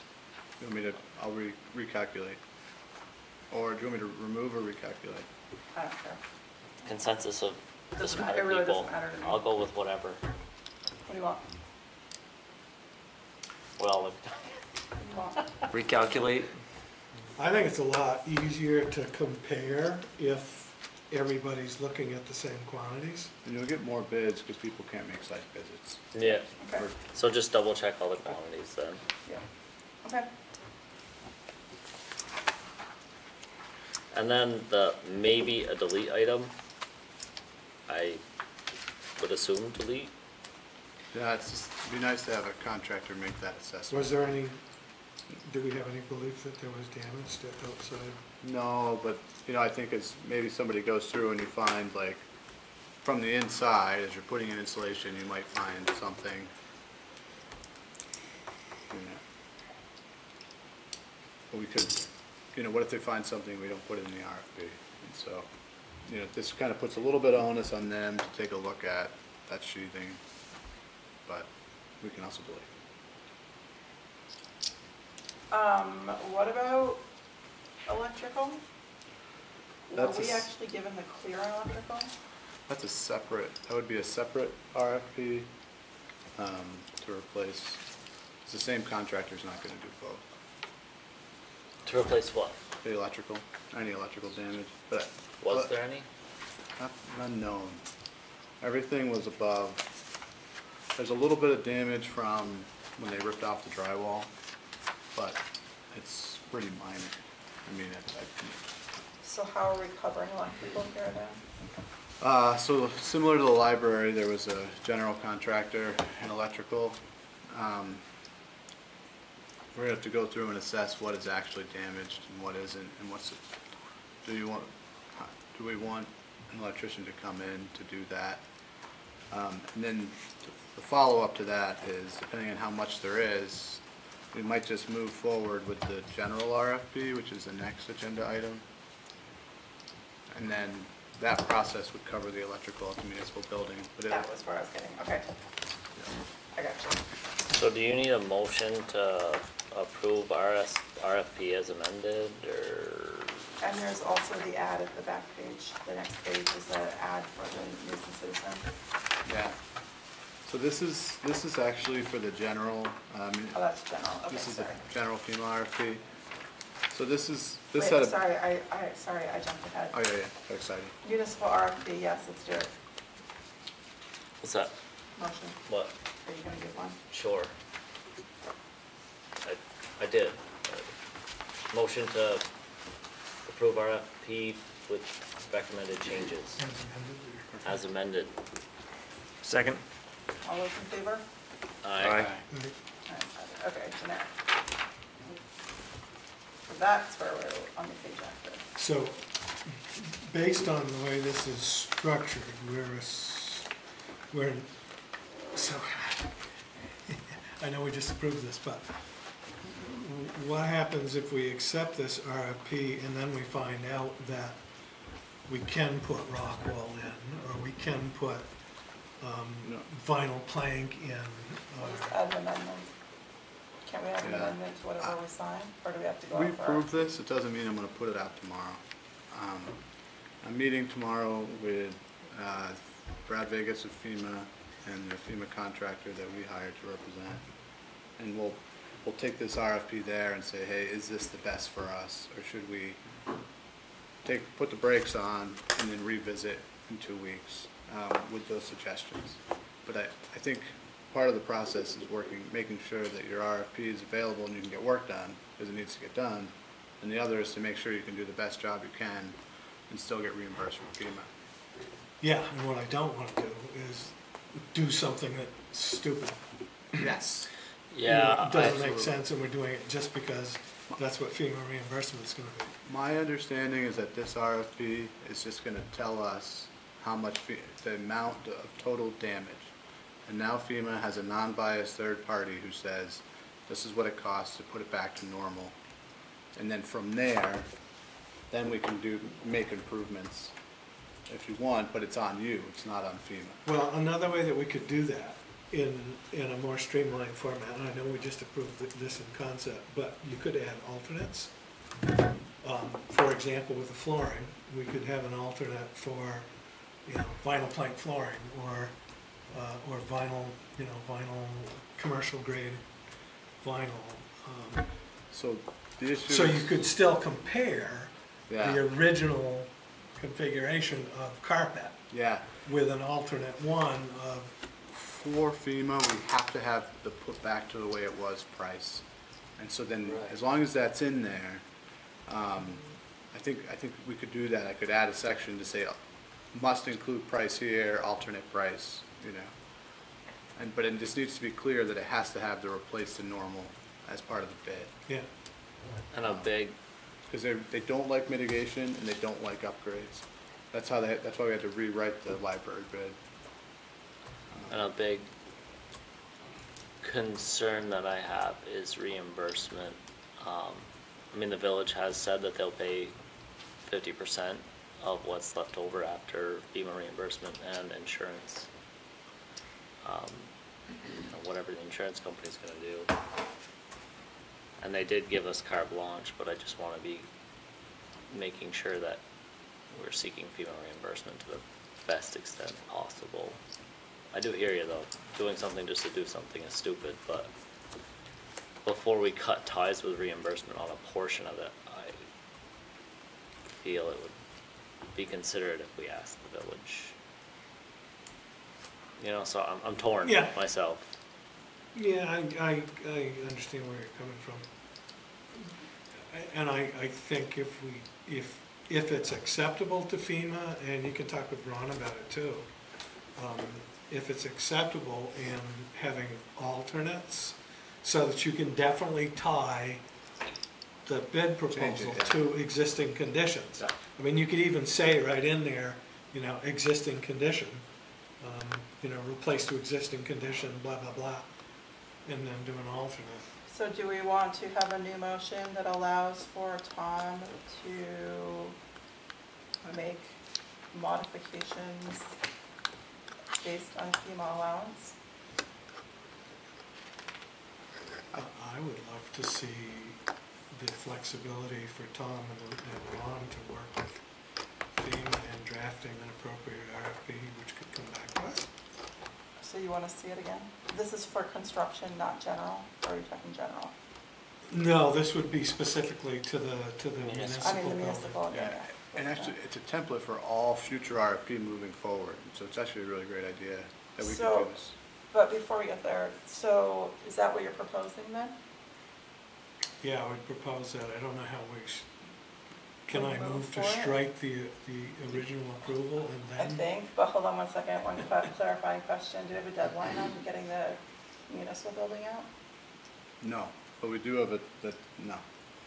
So we can, we can talk about it in two weeks. Okay. I would move that we strike the approval that we just did and supplant it with authorization for Tom and Ron to work with FEMA to develop an RFP for the municipal building. And is that with the assumption that it will be, I don't think we can replace it with, can you just strike it? Let's just do a vote to strike it. I don't feel like, Oh. we're- yeah. Um, yeah, we'll make it really simple. I'll, I'll- I'll move to strike the, the prior approval. Is there a I'll second? second that. Okay. And the prior approval Really, was Mark? on the municipal building Yes. RFP? Yes. Okay. Any discussion? All those in favor? Aye. Aye. Aye. Okay. Any opposed? No, I think overcomplicated, but It's very complicated. Are complicated. you voting? I said no. You said your vote is a nay. My vote is no. Okay. Uh, okay. And then new motion? The new motion would be to authorize Tom and Ron to work with FEMA to prepare an RFP consistent with FEMA requirements for the municipal building. Can I make a comment before there's a second? Sure. I don't think a motion's needed for this. Go work with FEMA, bring us We'll do it. back an We're RFP for We're gonna approve approval. it later anyway. Right. At this point, we just need a new RFP. Like, we're gonna so- approve the. RFP when it comes back to us. And I like the idea, add alternates. Okay, if they generic allow it. RFP. So you got that. You got your marching orders. Generic RFP. Where did we land with generic RFP? So this um, went out for advertisement today at noon. Uh, We have till tomorrow at noon to pull it, if you would like. But what this is, is it kind of um, allows us more flexibility moving forward. where we're putting out a request for qualified contractors. And so we're gonna make, uh, we're gonna get, hopefully get some interest back, but also we're gonna make phone calls to, um, our list of contractors and those who are not barred, to just get them on the list and already pre-approved. And by, this serves as one of FEMA's procurement avenues. And so once we get a list of, so this is all about reimbursement. Once we get a list of qualified contractors, and we are gonna reach out to people to rebuild the skate park, we're gonna reach out to people for electric, electrical work, for general contracting, for excavator work, whatever we think we might need, we're gonna reach out to them, and if we can get them on this list, then we can get them, they've already, we've satisfied our procurement process, so with their bids will be accepted by FEMA, as opposed to doing little micro RFPs for all future work. Instead of having, you know, for fifteen hundred dollars of electrical work at the town offices, having to get, do an RFP process, we can just work with the two electrical vendors, or one electrical vendor, or five electrical vendors that came out, but at least we're just talking to them, and we don't have to publicize to the same extent every time. Uh, one change is to do the same thing we did in the other one, get rid of the date, uh, in July and just make it July twenty twenty-three. Looks good to me aside from that. Is FEMA gonna be really understanding that this work isn't gonna be done for months and months and months? So Hurricane Ian is like almost two years old, and they still haven't, there's still work being reimbursed. It's, is- if it happened, FEMA acknowledged that it happened. Excuse me? Well, That's in- uh, interesting. A real and uncomfortable conversation. I mean, it, it, dep- Mark, I don't know how to stop it. Mark, I'm gonna have to ask you to sit down and calm, calm yourself. Jerry, I can't get it to stop. Turn the sound down. I have the sound all the way turned on. Do I have to leave my day job? Right, Just take his phone away from him. Power off, we're gonna, I got it. Okay. um, so it, it depends on what you're doing, right? Um, Yeah. I think this reimbursement process is the easiest, but It also I'm doesn't. pretty sure Hurricane Irene was just closed. Yeah, so exactly, So like rebuilding bridges and roads and stuff is a decade process. It's- that's right. And so, this is, um, this process frees up flexibility and makes it easier for us in the future, but we also aren't tied to it, and that if you wanted to put out a little mi- a micro RFP, we could as well.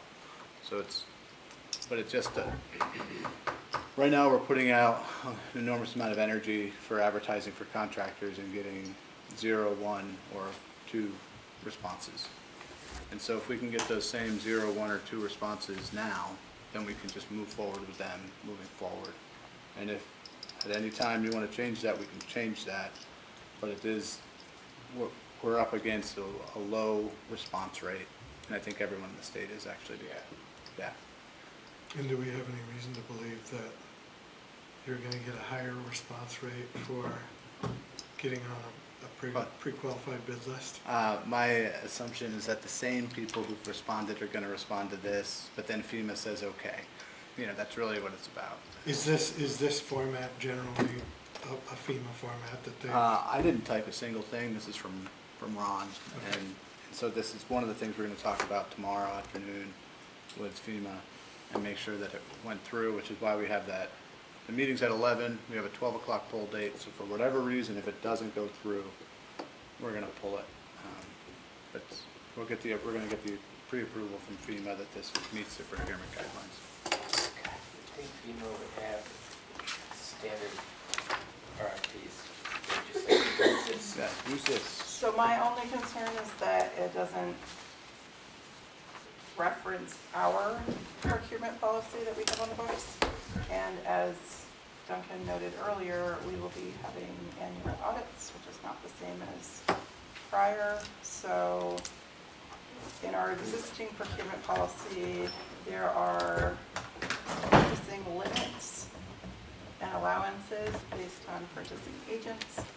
I just want to make sure that this doesn't conflict with those, or if it does, we have sufficient language in our existing procurement- procurement policy that allows for disaster-related That would be in our LEM, right? No. No, our procurement policy does say that emergencies are exempt. Are we still in emergency? Mm, I don't know when it ends. Nobody can give me an answer. Did on the that. state end it, or? No, they haven't actually. Well, we're still in an Technically- emergency. Technically, we are too, but I don't see anything with the word emergency in it. Uh, is my point. All right. And What about disaster? Um,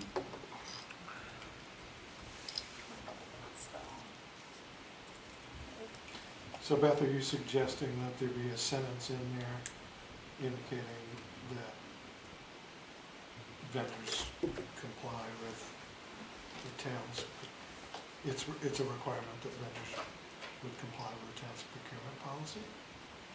Um, I think we need to comply with it, actually, because like when we talk about major purchases, we very specifically talk about all major purchases between five and ten thousand dollars shall be obtained from at least two qualified vendors. Anything over ten thousand must follow a sealed bid process.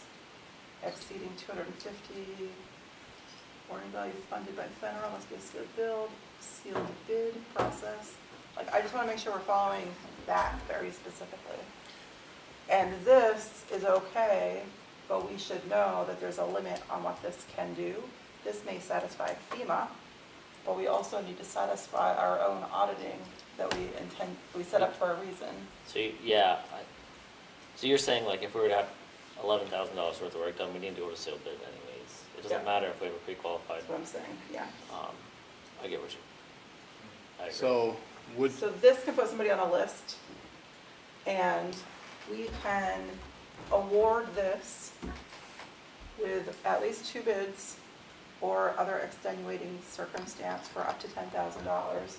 Anything over ten thousand dollars, we need to go through a sealed bid- bid process, but these folks will be on our list to reach out to, got it. it. is the way I see it. And we'd also have to publish the sealed bid, but these guys would get a hand deliver kind of a thing. Hand deliver. Because I don't think we can, I don't think that just because we had a disaster warrants going against our procurement policy. Yeah, unless there's something specifically in there that says, in a Yeah. case of emergency, you can go around this. There is something for that. We looked it up. There is, there is, there is, but I don't think this qualifies as that. This doesn't, no, but Yeah. for emergencies, there's something. Correct. So is it even worth publishing this unless it checks the box for FEMA? I That think might- it might think be if for it- the yeah, FEMA. If it helps thing with alone. FEMA, Yeah, I mean, especially for those smaller, everything under ten thousand, yeah. that, I think that's, it's worth it just for that. You know, like we have some electrical work in the town office that's gonna be under ten thousand, there's some at the skate park that's gonna be under ten thousand. Um,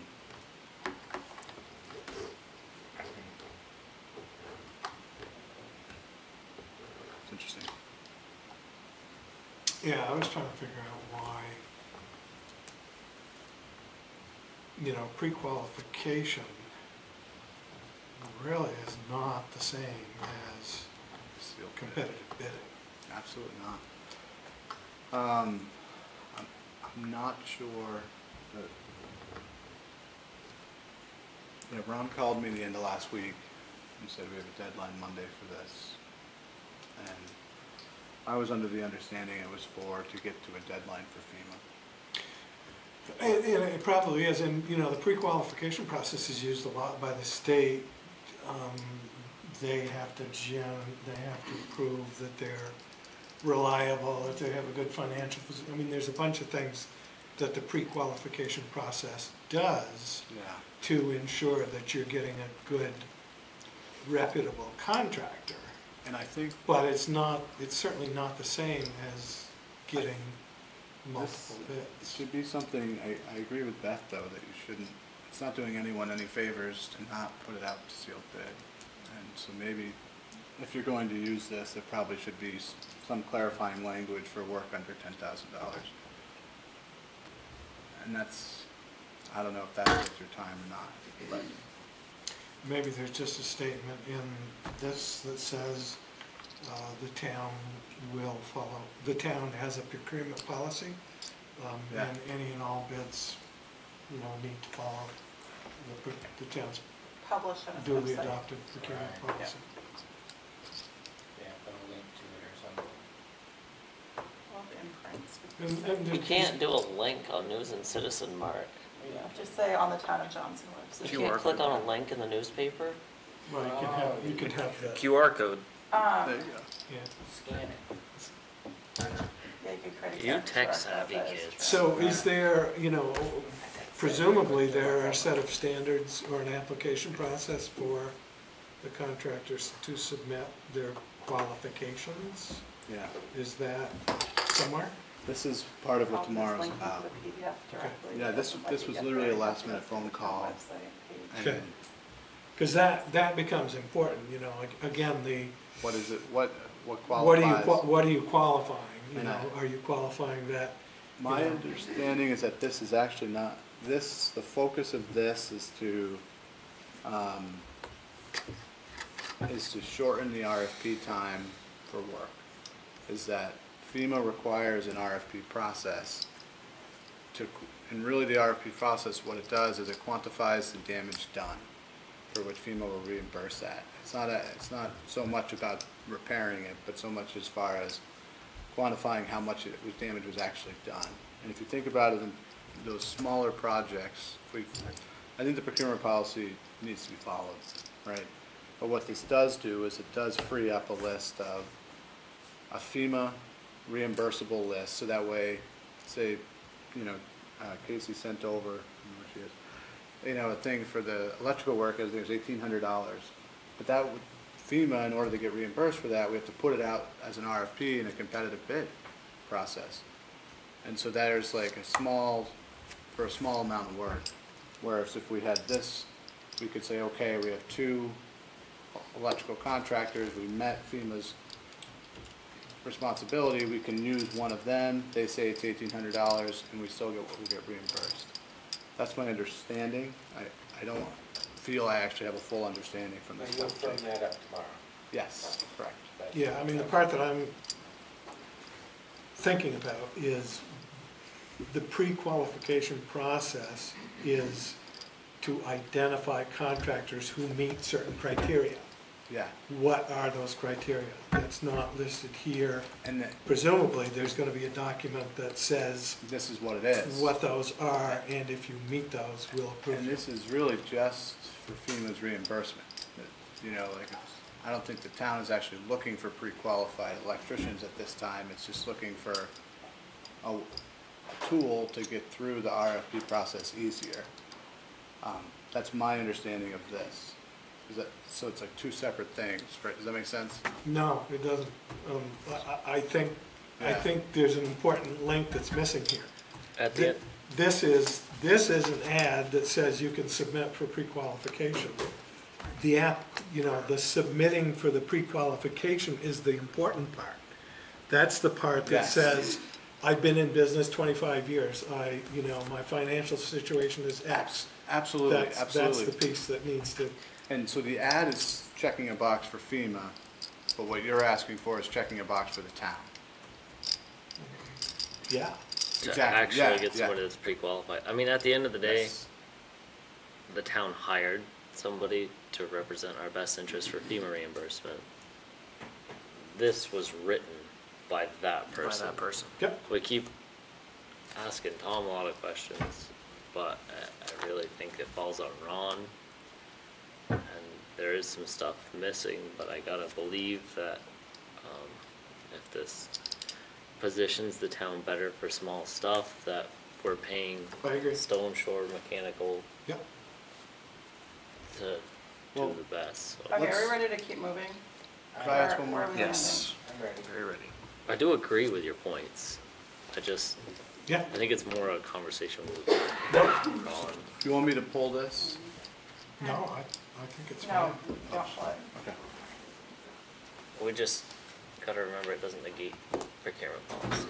Right. You, I think you should add that statement, though, I'd say be that supportive this does that. that not- the town has a procurement Yeah. policy. That Has the all bids will follow the procurement policy.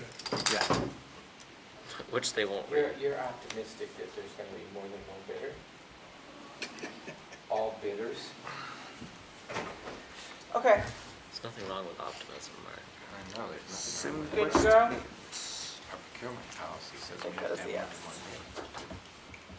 But we have to, tr- yeah. next up That says you have to is put it can SymQuest. Can we do skate park first, actually? Let's just bump SymQuest down. That was gonna be really quick. The lowest? Oh, mainstream for replacement copier, oh, uh, okay. It's just a hundred and eighty dollar request, right? Or is it Yeah, hundred it's and eighty a month? I need authorization to sign on behalf of the town. It's like a docu-sign in my name. So moved. Second. All those in favor? Aye. Aye. Thanks about that. Uh, skate park RFP. Is that FEMA RFP, the other one that you were talking about? Yes. Item number thirteen. That, that's what we were just, Skate park, That must be right in It's actually in here. it, it got, we got out of order, but Yeah. it just made sense kind of to flow from the municipal RFP to the FEMA RFP. Page twenty-two. So we, we skipped over the SymQuest thing at We're in first. opposite order here, that's why. Yeah. I just- Oh, okay. Yep, that was my fault. Okay. Skate park. What's the scoop? So, uh, we met, was it last Thursday? Um, I met with Scott Myers and we put together a floodplain permit. Um, calculated the volume, Scott calculated the volume of concrete to be added for the new skate, new half pipe. And we agreed that it's best to remove that same volume and also to remove any additional fill that was brought in last fall to meet, to make sure the floodplain permit was okay, so under those two conditions. So is that that big berm of fill? On the backside, yep, so that that would go and that any additional fill brought in would also be removed um, to met, equal to what was brought in. Um, In the process of this, we found out two new pieces of information. One is um, that there's electrical damage to the little, at the skate park, and that needs to be, from the flood, that that needs to go through the FEMA requirements. Now, does the electrical work required for the new construction or no? No, that's the, Okay. that's the change. Well, I think so, let's, keeping it in very different boxes, because Yeah. that's what was happening at this meeting, right? Is a lot of crossover about new construction versus closing out FEMA. First, closing out FEMA because get reimbursement is our single largest priority, it feels like right now. We have the debris to remove, which is all the wooden structures. We have to, uh, Casey put together a list for that. And then we have electrical work to repair. Um, The electrical work, we can put out a micro RFP, or we can um, use this qualified uh, list of contractors. I'll learn more about that tomorrow. But the debris, we got the okay to remove. Um, There's just processes on how to do that. I think first we need values um, of what they are to replace. By debris okay to remove, you mean by FEMA? Yeah. Um, So I feel like we need to close that out, and one of the thi- ways to do that is we're having um, an inspection scheduled where FEMA goes out and they review the damage, they assign a value, close it out, pay it out. And that's gonna cover the electrical and the debris removal. Even though it's not done, even though there's no RFP, it's pretty matter of fact, the replacement cost of, a- of what those structures are, and the electrical work, they can look at it and assign values to it and make sure that it's reasonable. It might not be dollar for dollar, because it's a small enough amount, the administrative costs are probably worth just closing it out, moving on. That's what that's looking like now, uh, especially because we're gonna do force costs. Um, By, probably the town crew will be removing those structures um, with their equipment, rather than hiring a contractor to come in to do so. Um, Which makes that reimbursement actually maybe a revenue. Um, Where are the materials going? Casella. Um, And there's some, they have to be split. There's some steel on the wooden structures, is that correct? There's like steel rails and steel, the, the bent parts are steel. Um, edging. yeah, Correct, and not that has to re- be not really, separated. yeah. for Casella, and so, So, um, oh, oh, we're, s- you- I'm sorry, you're talking about the old structures. so stuff to be removed only. Yes, Yes, there's so- steel plates and railings. So that's gonna go to Casella, there'll be steel reimbursement that'll come back in the form of revenue. the wood will be cost out, the replacement costs will be cost out, and then, um, the time that the town truck and the town backhoe use to do that work will be reimbursed through FEMA too, at those, at that category Z rate that we've, I'm sure you've seen in the past. Um, so there is some benefits of having the town do it now in the fall during its slowest time. Um, so that's FEMA closing it out. The next step is the new, um, half pipe going in. There's a rush because of winter coming, whether we do it this fall or whether we wait till the spring. Um, and in the process of that meeting, uh, Nate, sorry, I forgot his last name, from the village came and suggested where the water line was, and it appears to be under the new half pipe. And so, under some berm, not, Well, I- not, not under the concrete. I don't think we actually know, right? Because nobody dug it up, nobody, you know. Right, that's, yeah, So we're just, correct. it's in the realm of the new construction, right? And regardless, um, if it ever breaks, we're, that'll have to be dealt with. And so do, does the board want to move that water line away from that structure, build on top? Line, like, where does the water go? It goes to a frost-free hydrant um, that the skate park uses. So that it's a town-owned line, it's not a village line. So it's a town-owned line to the hydrant that's near the small building um, at the skate park. And so do you guys want to uh, move the line now, proceed with new construction, or, and wait till the, if the line, if the line breaks, move it X number of years in the future? Um, but the new structure is planned to go on top of it. Casey, do we know if that line was an original line from when it was a mobile home park that was tapped into? As or- as far as I know, yes. Okay. Well, meaning we don't actually know? Where, whether it was a town line versus a village line? That's- Yeah, do you know what, do you, did we install a line? No, Okay. no. So it was going to a mobile home at one time and we just. It, that was the main supply, I guess, to that area, and then it branched out from there. And then when all the mobile homes were closed, et cetera, you know, tho- those lines all got done then. Jeannie? I'm Sheila. Oh, Sheila, sorry, look, I'm you Sheila, guys look just it'll like, yeah. They do look Uh, fine, it's okay. I, I believe that they, they had to have, I would say that they put in a new line because the old line ran from Harvey's, before the village put in the water. The old ro, ro, the old line, water line ran from up on top of Harvey's Park in that Right. little cement building. Where the spring house was? Yes, where the spring house was, and came down over the hill and along the back way Right. and through and, and, and down to us. And so when the village put it in, I would say that they must have done a new line. Yeah, okay. Howard? And if I may, uh, DigSafe has not been there yet, right? Yeah, that's where I was going, is the Well, that's- suggestion. That's the most important thing, is probably as far as with that. Yeah, Because the water line may not be under, even under the berm, let alone the, uh, you know, we, we don't know. Uh, Visu- Visually, there's a straight line between the yard hydrant and the the little shack where the water's turned off and on. And Yeah, So- so to Howard's point, we just don't know. Right. So DigSafe, okay, dig Yeah, state which is on the is, list. I was asking, um, you know, if you, I'm sure you read the TA report, is that to have Dean or Jason call DigSafe and figure that out first. Like, where is the water line, lay out the new half pipe, and just make some better decisions before we put that RFP out. And, um, just- and then also, if we could close out FEMA before we move forward with new construction, um, based on how tight FEMA is with the fear of mitigation and upgrades, seems like we should close that out so there's no confusion and no holdup with the skate park reimbursement. That's, this is my opinion, but we're okay to do whatever, yeah. Casey?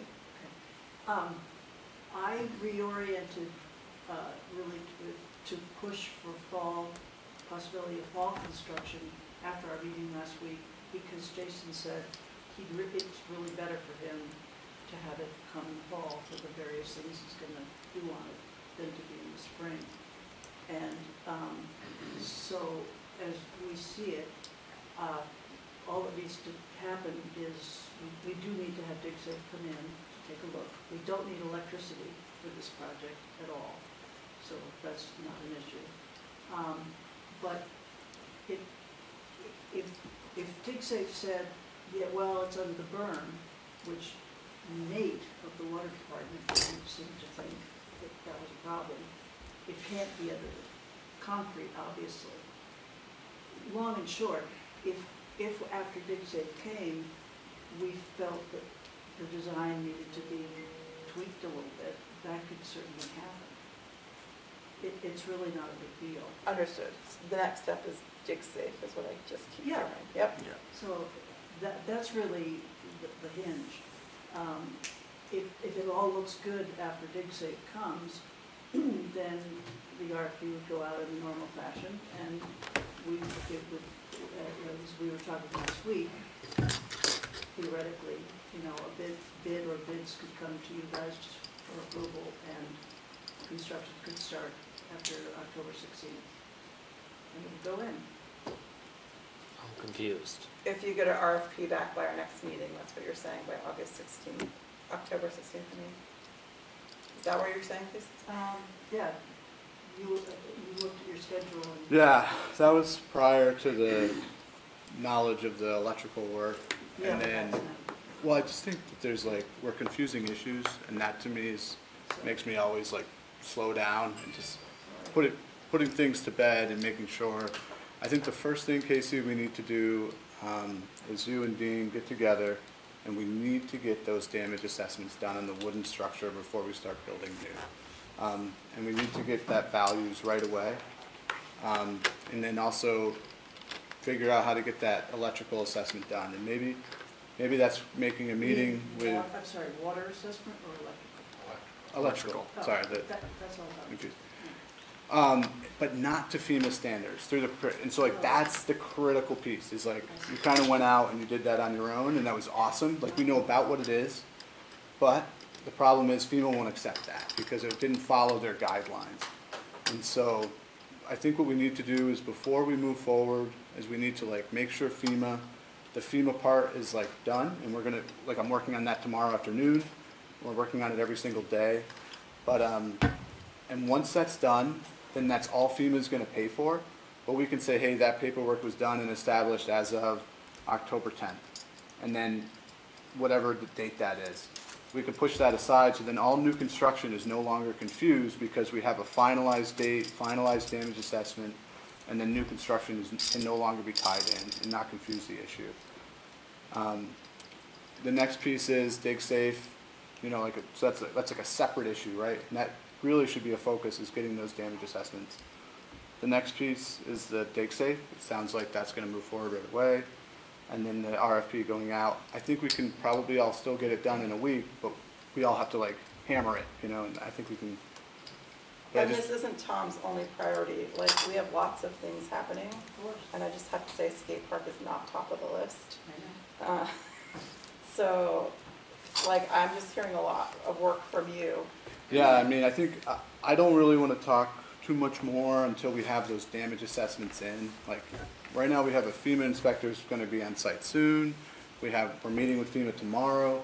Like, if, the faster those get done, the faster everything else is, but it's kinda hung up on those damage assessments. Can I, um, uh, I'm to that, uh, I have, uh, I've done drawings of the five pieces we, we want to, we want to remove. Um, and, uh, and I'm working up, I'm working up those prices now. So if that, if, if, if I have to dance to a different drummer than just calling the lumberyard and finding that little one by four drum, I was- Sorry, then th- let me know. this is for the, the skate park Yeah. pieces? Awesome. Yeah, so why don't, tomorrow, we could, um, We'll, we'll be talking. yeah, do you have time tomorrow afternoon? Of course, I'm retired. This is great, so let's, I'm gonna meet at eleven with FEMA and Ron, so why don't we plan at like a one o'clock phone call or one o'clock in the office and just like nail this down? What the steps are to get those values, and then we're all moving forward together. Great. But it's just, I just think we have to get on the right page and make sure that it's following FEMA's procurement. That's, that's the single most important part, is we just have to follow FEMA's rules at this point. But did I also hear that we could call DigSafe now, just to- so we know? Yes, yes. Yeah, okay, Yeah. So just to be clear about DigSafe, um, you know, DigSafe is, it's a process where they take out a ticket. Um, There isn't gonna be somebody from DigSafe who goes out and tries to locate the water line.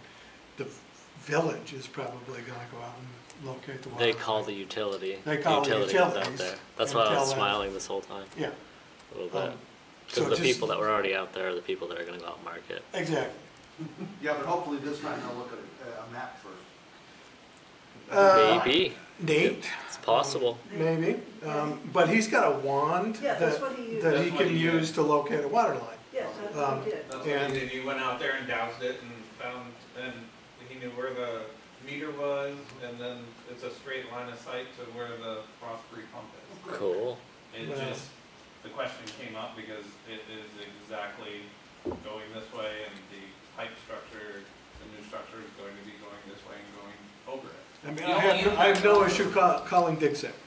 Um, but just so you know, it's, if you call DigSafe and set it, set up a ticket on DigSafe, Nate's gonna be out there with his wand, trying to locate the water line, and he's gonna mark it. The only difference is, he's gonna take a can of blue paint and put some paint marks across the, Perfect, the line where the because water we line should take pictures of the paint can markings. So, I mean, this is like super roundabout. There's a skate park RFP update as a item. I agree with closing out FEMA. I'm confused why the RFP isn't already posted, because the motion last week was to just post it as presented. I No, don't even know if- if why. With contingent on Scott's feedback. And it sounds like there's a solution to Scott's feedback of removing the equal amount material to fill, to keep this moving forward. That was Material the we already That was the contin- paid to bring in. contingency. Yeah, the concern, so Scott, uh, Scott's decision didn't come until Thursday afternoon. Um, and then there was the new information about the water line. And so does the board want to, A, shorten the half pipe with a different RFP, because now it has different specs? Do they want to move the water line, or do they want to build on top? And I think the solution is finding out where the new structure is over the water line is what I'm, what I'm hearing. So. But, Yeah, we did mark it. Um, I mean, Nate marked the water line and we marked the end of the concrete. Yeah, Jason actually is not marking paint mark. Right. but, so um, he's already done that? Yeah. There really isn't any point in calling DigSafe, he's already done it. Oh, don't we have to? Well, before the project starts, you have to, but we don't need to call them in order to make a decision Got on what we wanna do, because we already know what's there. Okay. And just for the board's information, this, this water line only goes to that spigot. It goes to nothing else, it does not interfere with any other lines, it is, it is itself its own line, self-contained and closed, so, just for your information. Where's the, maybe this doesn't matter, but where's the water, are, is it, It's- is the village charging the town for the water? It's got a, it's got a meter on it, it's right across, um, just through where the fencing kind of line area is, uh, on the other side. So closer to the road or closer to the, to the, Hill. Closer to the hill, Yeah, that end, kind of heading, the, the western end. heading It's towards one, the one Johnson. co-op. It's mine.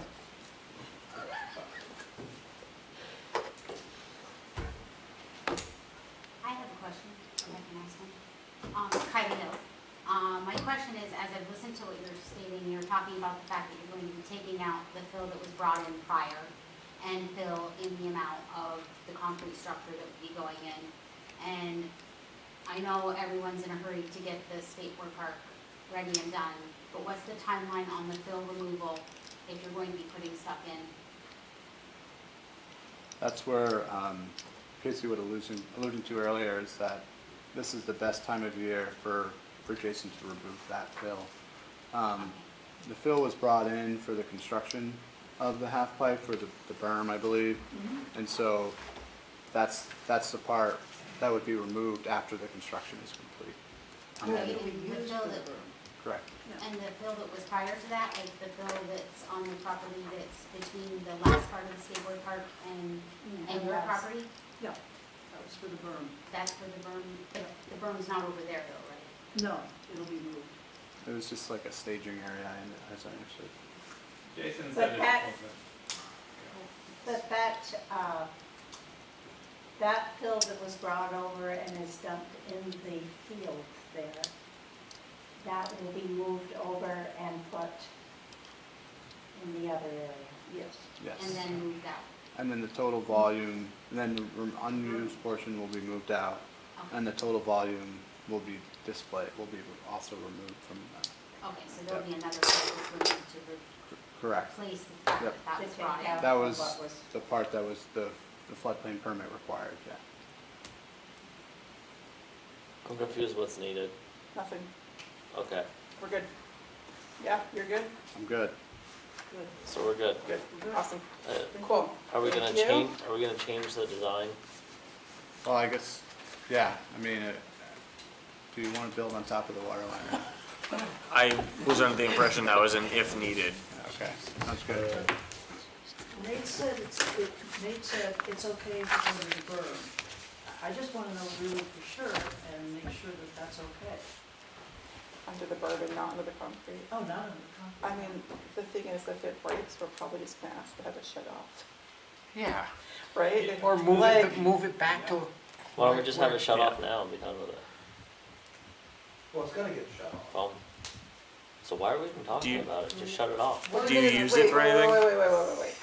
What do you mean it's gonna be shut off Oh, well, just for the winter. For the for winter. the winter? It's No, shut no, no. off now.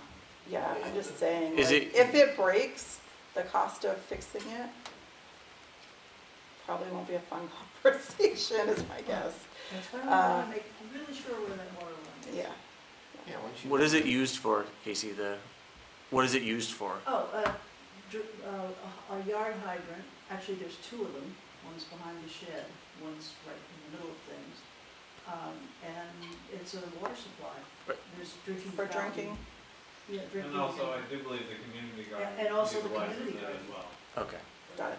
so. Okay. Thank you. Sheila? So, so at your last meeting on the twenty-fifth, when I, when I watched, uh, there was the question of bringing in more fill. For that reason, we're off that page now, is that correct? Yep, that's what the permit was for, yeah, so, Because that fill is already still there in the field. There was some discussion that it might be easier to bring in, because of its location, that it might be easier to bring in new, new material from, co- rather than reusing that, because, and then remove the entire berm on the side, but the total volume will be equal. But what was brought in last year and what will be brought in with the new construction. okay. Um, updates on the industrial park EDA grant application. So Tom and Duncan went on a site visit. Get pictures?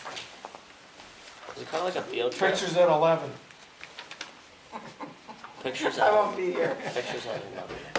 I hope not. Don't know what that Um, Do you want to take over or do you want me to? Back from when the news was still on TV at certain times of the day. still. Now it's, that's Anyway, when yep, let's keep going. So, Colbert's on. Bye, thanks. I guess the, the update, um, we had, oh, I don't know, seemed like there was a cast of thousands there, but, um, there were people from, uh, FEMA. You got all the cards, hopefully. Yeah, so it's like, There's It's- FEMA there? it's FEMA FEMA, was there, but it's like not associated with the disaster, is that correct? correct. Yeah, it's like a different, more for economic development. It's kinda like, I'll bet you like the United States Department of Agriculture had somebody there. That's exactly what it have. was. Oh, yeah, because the Department of Agriculture Oh. would be involved in, What was, was Business it a card. man? What was his name? Oh, There I was a think I might have met man. him. can we call him there a Greg? Um, or there were Bill? two women. yeah, Um, but it was, The USDA. The, the bottom line was that, that, that they, they, the FEMA people were interested in helping us with housing if there was something they could do. to help.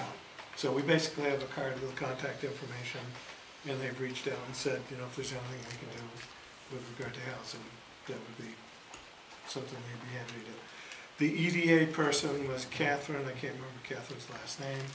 Um, Catherine, I think the takeaway there was, I mentioned that, given the fact that we may have a number of buyouts of houses in the village, that the original plan called for, uh, an option for either small commercial space or residential housing.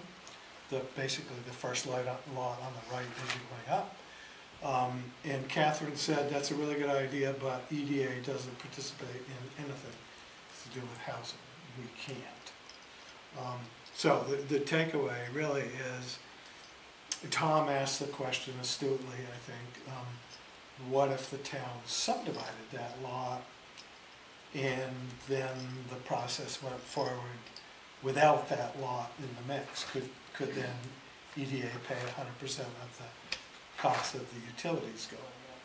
She basically said, yeah, she thought that would work, but the caveat or possible confusion over that issue is we got a, a Northern Border Regional Commission grant based on that lot being small commercial. Yeah. Um, So, Well, and it kind of takes away some of the benefit of going with this plan if we then have to say, here's one section of it that we're not gonna do that. Cause then, you know, what are we gonna do with that section? Now we just own another plot of land that we can do nothing with. well, That would be would- residential. it would be, so if we could, for example, if we could sell that lot to the Lamoille Housing Partnership and they were to develop it as, Right. you know, residential lots, um, How that, big a that could parcel work. Is it? Uh, I don't remember, it's a couple acres maybe, Yeah, two, two and a half, three acres, yeah. In this market, that should be worth, what, a cool half mil? something like that, After yeah, we get easily. done improving it. Yeah, after we get, after we provide the Before water, sewer and electric to it. We just put a What we're saying is shed on that it. part of it, we would not improve at all. The, the subdivided off part of it, We wouldn't improve. Or at least we We'd be wouldn't be able- going we wouldn't right- use we'd EDA funds to improve it. We'd be putting up the infrastructure. right, You know, the- would go, so we could leave the taps, you know, for water, sewer and electric. Yeah. Uh, So anyway, the, the, the takeaway, I think, is EDA seemed really interested, and I would be really surprised if they don't fund it. Um, But there is this sort of hanging chad question about that lot and whether, whether we could develop that as residential versus commercial.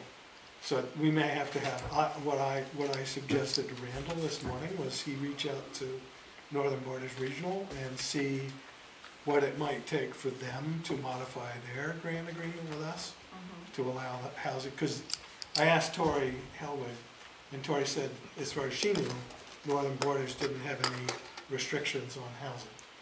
It could be, it could be part of the Northern Borders oh. grant.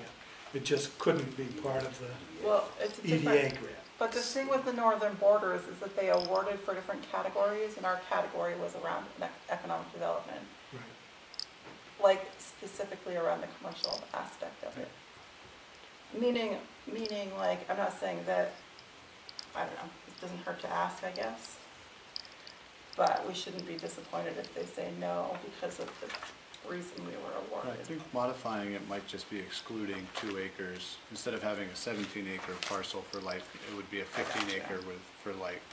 That's a northern. So are border. you supportive of a mixed use, is that, or are you just asking questions? I, for- I'm, we, the board really hasn't had the conversation about whether Yeah, it's, that lot should be or could be it's a considered. heavy question and a lot of hours, I guess, for employees. When we don't even know if that's what the voters and taxpayers want. Well, it was shown in some of the original plans. uh, Some it of, was shown. was it shown in the final? I don't know, I, Um, I think it was. I think, yeah, it the- was up the- on the wall. was it the twenty twelve Mumley or something like that? There was, a- the previous Mumley had, um, It was Ruggiano originally. or, yeah, okay, yeah, but it had, um, the commercial up front, like you said, and then the rest of them as light industrial. Yeah, it had um, two, it had two two different mock-ups, yeah. One was all commercial and the other was, you know, commercial with one lot being, um, residential. So my question was, um, did they say anything about whether, like, for mixed commercial and residential, if we were commercial on the bottom and residential up top, is that something that EDA is totally against, or? EDA will not fund anything related to housing. housing. I do have to just say for the record, I think that is very silly and, uh, you know, not considering housing as a part of economic development is very short-sighted, but, um, they're the ones with all the money. Yeah, and I, I, you know, I get the idea about, about housing, I just, my own personal belief is there will be other places and other opportunities for housing and very limited opportunities for commercial industrial development Within the village. within the village corridor. That is technically outside the village boundaries. No, it's actually, in- Well, it's most within of the it is village. within the Most of village. it boundaries. is. Yeah. There's a little slice of it that's not, and we would have to actually. On the Gould Hill side? On the Gould Hill uh, side? On side? the west, west end towards the Blueberry Farm.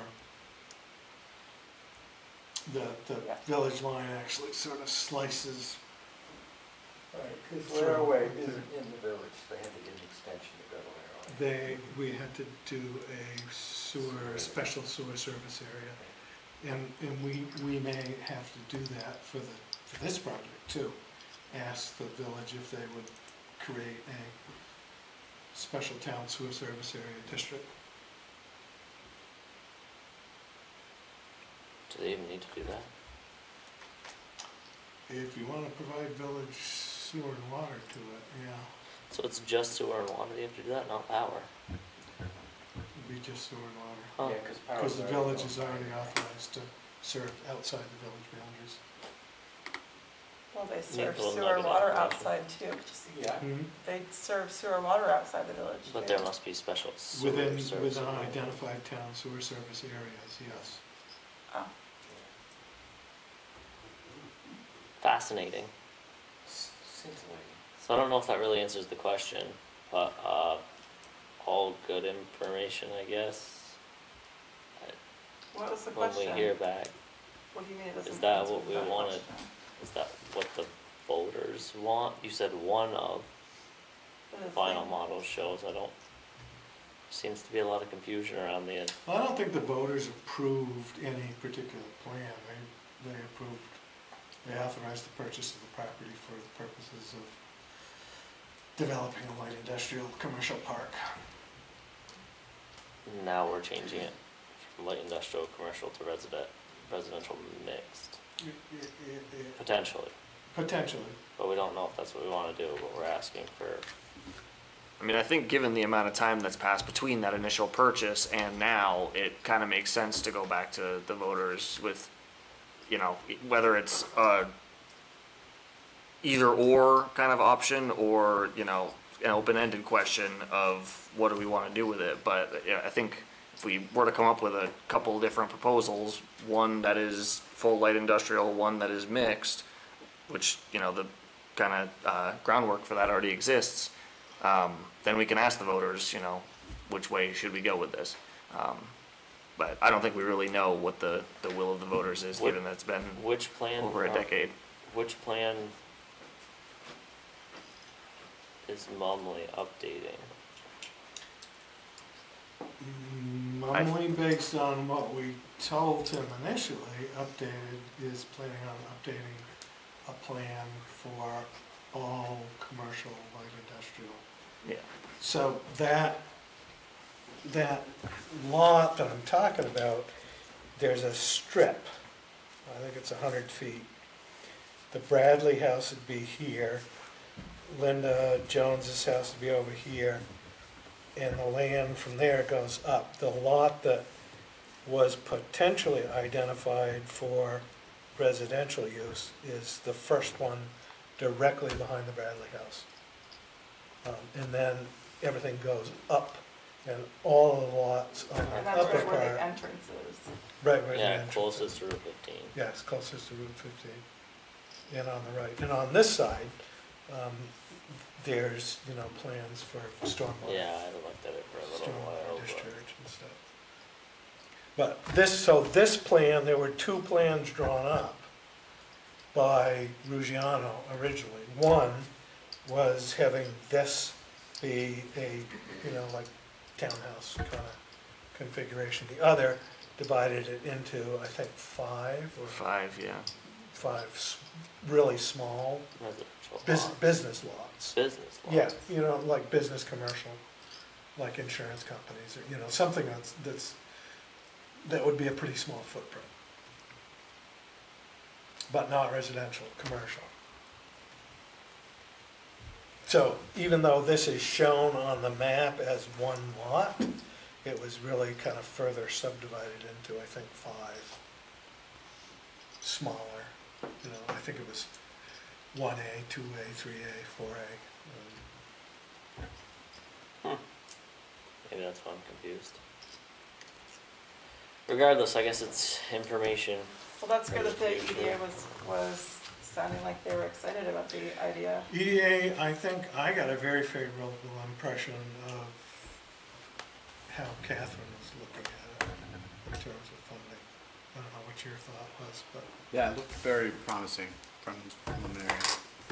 I mean, the one concern was housing. That As soon as housing touched it, she was like, oh, we don't do it. And if it already was pre-existing, there was a question about maybe prorating services up to that point. Um, But Um, the other question I have is, did they talk at all about, like, in demand, did they talk at all about potential tenants and the demand for tenants as part of any, as part of the discussions at all? um, just our own personal opinions that there's nowhere to rent in this, in the Route 15 corridor. I mean, yeah, but that was our opinion as opposed to theirs, they didn't share anything like that. I, I mentioned to Catherine that from my experience, it could easily be a ten to fifteen year build out. And she said that would certainly be consistent with, with what we've seen in other parks. Oh, I see. Tenants as in industrial, not as in, No, residential, right. yeah, Right. industrial. missed that.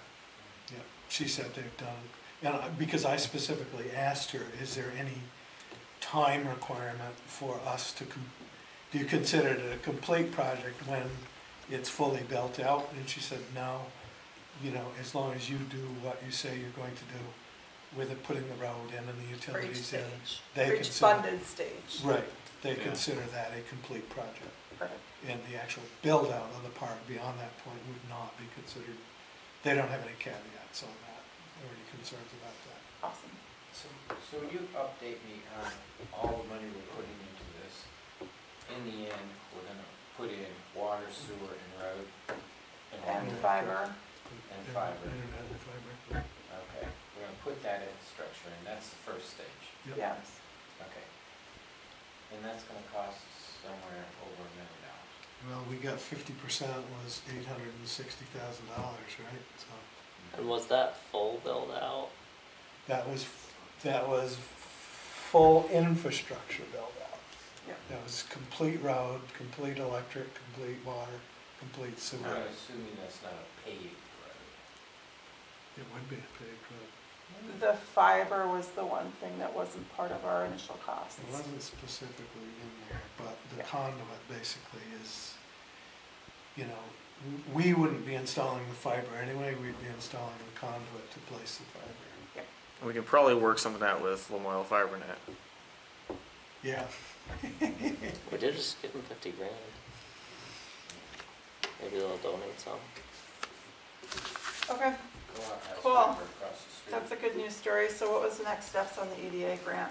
Like I gave Tori a whole bunch of stuff, and then I gave her more before your visit. Did she say anything about next steps? Or Did anyone say anything about next steps? The next hurdle that I am aware of is the question of, um, and and Ron, um, Randall's gonna try and do a little investigation in this today. She, he was gonna try and contact Catherine directly about the issue of whether or not the village is a co-applicant on the grant application. Yep. Um, Randall, Randall knows a fair amount about the project, cause he actually was on the review committee, uh, For Northern approved for the yeah, Northern Borders Grant. Um, so his question was, what is it about the idea of the village being co-applicant on this that's important? Um, and I said, I really don't, I don't know for sure what she's really interested in or worried about. Mhm. Um, You know, from my perspective, I, I think it's kind of a little bit of an odd situation. The, the village has a, two ordinances related to water and sewer, whereby the town would be the applicant to the village. So it's, to me, it's a little weird to think that the village would be a co-applicant when we would be an applicant to them under their ordinance procedure Mhm. to Right, they'd be applying for themselves if they're yeah, applicants. so, so to me that, yeah, it kind of doesn't make sense. Um, But Randall was gonna try and reach out to Catherine and find out, what's your, what's your baseline concern? Why do you think the village should be? You know, and if it's, if it's a basic under- misunderstanding on her part about, you know, that process, we can explain that Yep. better. But, Okay. So we're waiting and seeing, Tori didn't say anything about next steps. Uh, the only thing she said was, I think she's got the applications basically ready. She, she offered to, um, have a meeting with you and me to Okay, talk about the issue of, you know, the village co-applicancy, yep, um, which I'm, you know, happy to do. So, But, me too, whatever, yeah, okay. And did- did uh, Randall ever, do you know, did you talk to him about making an appointment with Tori to meet?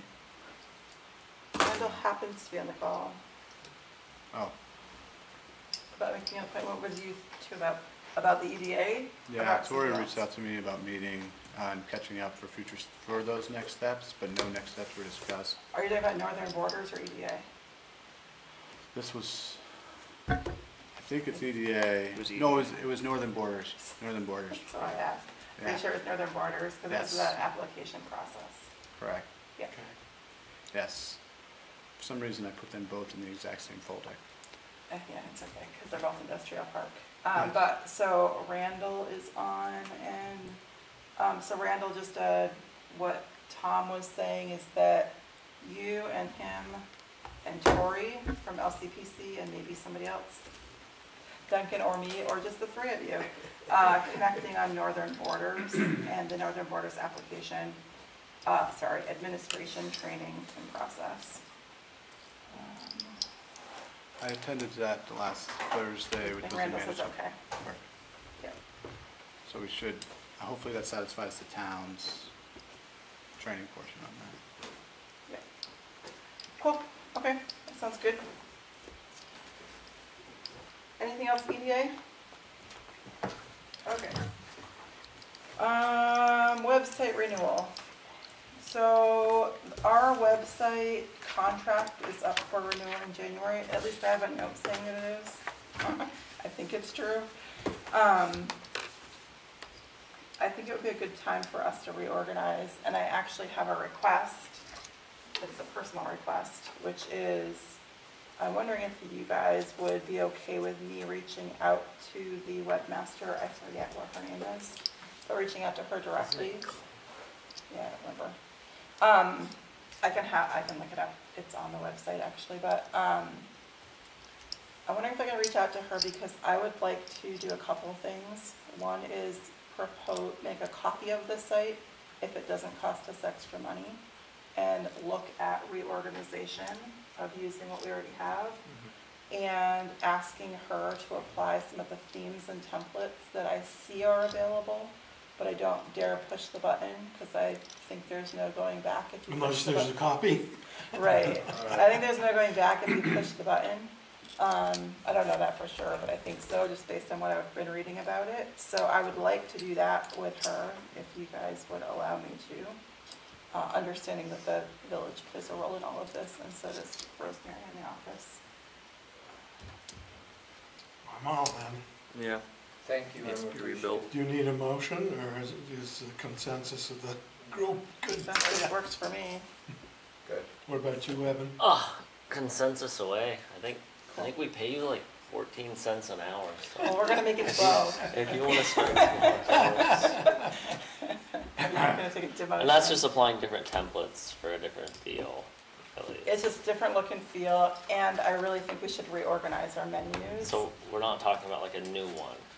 I'm not talking, I'm talking about using Just- all of the same data all of the same, everything that's already there, all the same content with a new theme, number one. And number two, proposing new organizations. So I would go make organizational changes without bringing them here and sharing with the office staff and maybe the village too. Um, But at least looking at that organization Gotcha. around.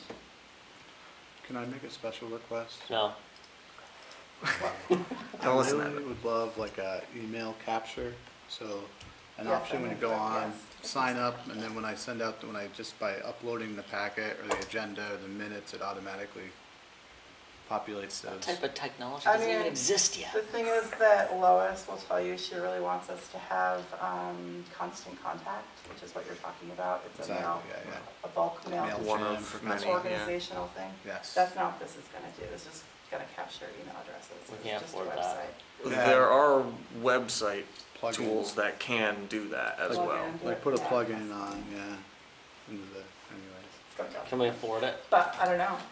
Maybe Uh, not. More to come. Um, But Adrian is also here because Adrian has a proposal too around look and feel. Yeah, I was just, um, I'd be happy to like donate my time, uh, to redesigning a logo for the town, uh, go on the website and wherever else. Logo design, which I love the idea we had talked about branding um, and doing kind of a rebrand, and I think that's something that I'd be very supportive of. Um, you know, not only digitally, but we had talked about signage for the rail trail and for other parts of town needing to be updated. Um, so I think it makes a lot of sense to come up with something uh, that is not only usable for the website, but could be used more broadly as well. Yeah. Would we have to change the logo on the side of the trucks? Every single one. We could, we could, Yeah, but we'll get chrome ones this time. We got magnetic ones. So we can- we could just, yeah, do magnetic. That's great. No, Yes? Chrome. We would just, no. Are you ready to get rid of the covered Like bridge? costs like that, the town clock. we wouldn't have to get rid of co- coverage, covered bridge. Like, one of the things we could ask Adrian is, we really like the covered bridge. Can we keep a covered bridge? Yeah. Can you put the covered bridge in the logo? Yeah, I Right mean, on. I, actually, um, I made like a really short survey for you guys to go through and fill out to see like what your point of view is on what it should look like. Um, I can send that to Beth to send you guys. Uh, Love that. Yeah, let's do More that. pictures of the town Yeah, trucks. off meeting. I don't wanna spend more than forty-eight hours of my life. Uh, I think, meeting? I think if we change the town emblem or whatever you wanna call it, It's a logo. logo, we will spend hundreds of hours talking about it over the next year. Okay, here's the thing. Our logo is terrible to use. And I tell you from somebody who tries to electronically use it all the time, it's horrendous. Like, it's really, really I'm bad. not saying it's the best out there, I'm saying So can we just say somebody is like offering, there need, Yeah, yeah, I'm let's, totally let's supportive. do design, I, I, I'm gonna just I wish luck. have no opinion. Yeah, and I think we'll- we could go like kind of at a slower process and No. I just, I just mean like so that everyone feels like they can have their input on it, like starting with sketches and then moving to like a lower fidelity version and then a higher fidelity. in other words, she doesn't wanna like cause heart failure for anyone who might have heart failure. It's all the people that aren't watching Yeah. this meeting that are gonna have heart failure. My pencil. Uh, uh, Okay, so Adrian, send me the survey, I'll distribute it, and we'll get feedback. You'll fill it out for the fire No, you guys can fill it out. That's I'll just- right. I'll just call- And then we'll go- I'll fill one out. Oh, boy. Send it to- Send it to my email, that way I'll never see it. I'll call, I'll call Mark and get his feedback for you. Hand deliver it. Pony Express. Okay, I think it's a great idea. I'm Thank all you for very it much. Personally, and I really appreciate you you have a lot more volunteering patience your than I do. time. Do we really wanna reorganize the website or just blow it away? I, well, I was going to say that what you're talking about is kind of a full rebuild of the website. Um, and I, it's a great idea to make a copy of the existing website, just so that there's a fallback, but, you know, if we're taking all the existing resources and plugging it into a new theme and reorganizing drop-down menus and et cetera, that's, that's a full rebuild. It is, but it's iterative, meaning, and it's iterative and hopefully doesn't cost us money to do a full, like a full rebuild. I like the idea. It's not about like, you don't have to, you don't have to account for all your content and move it onto a new host. Like, yeah. And I'm not saying by any means this will be done overnight. 'cause it And, Yeah. won't. like, if it stays in WordPress, I imagine that the employee uploading process won't be different. You don't have to retrain employees and all that. Right. True. Seems less costly. It'd be nice to Still have use WordPress? every single living person in this town's email. We should put a host on it so we don't have a Well, WordPress I- logo. I think Right. that's. It's gotta be privacy concerns involved. What did you say?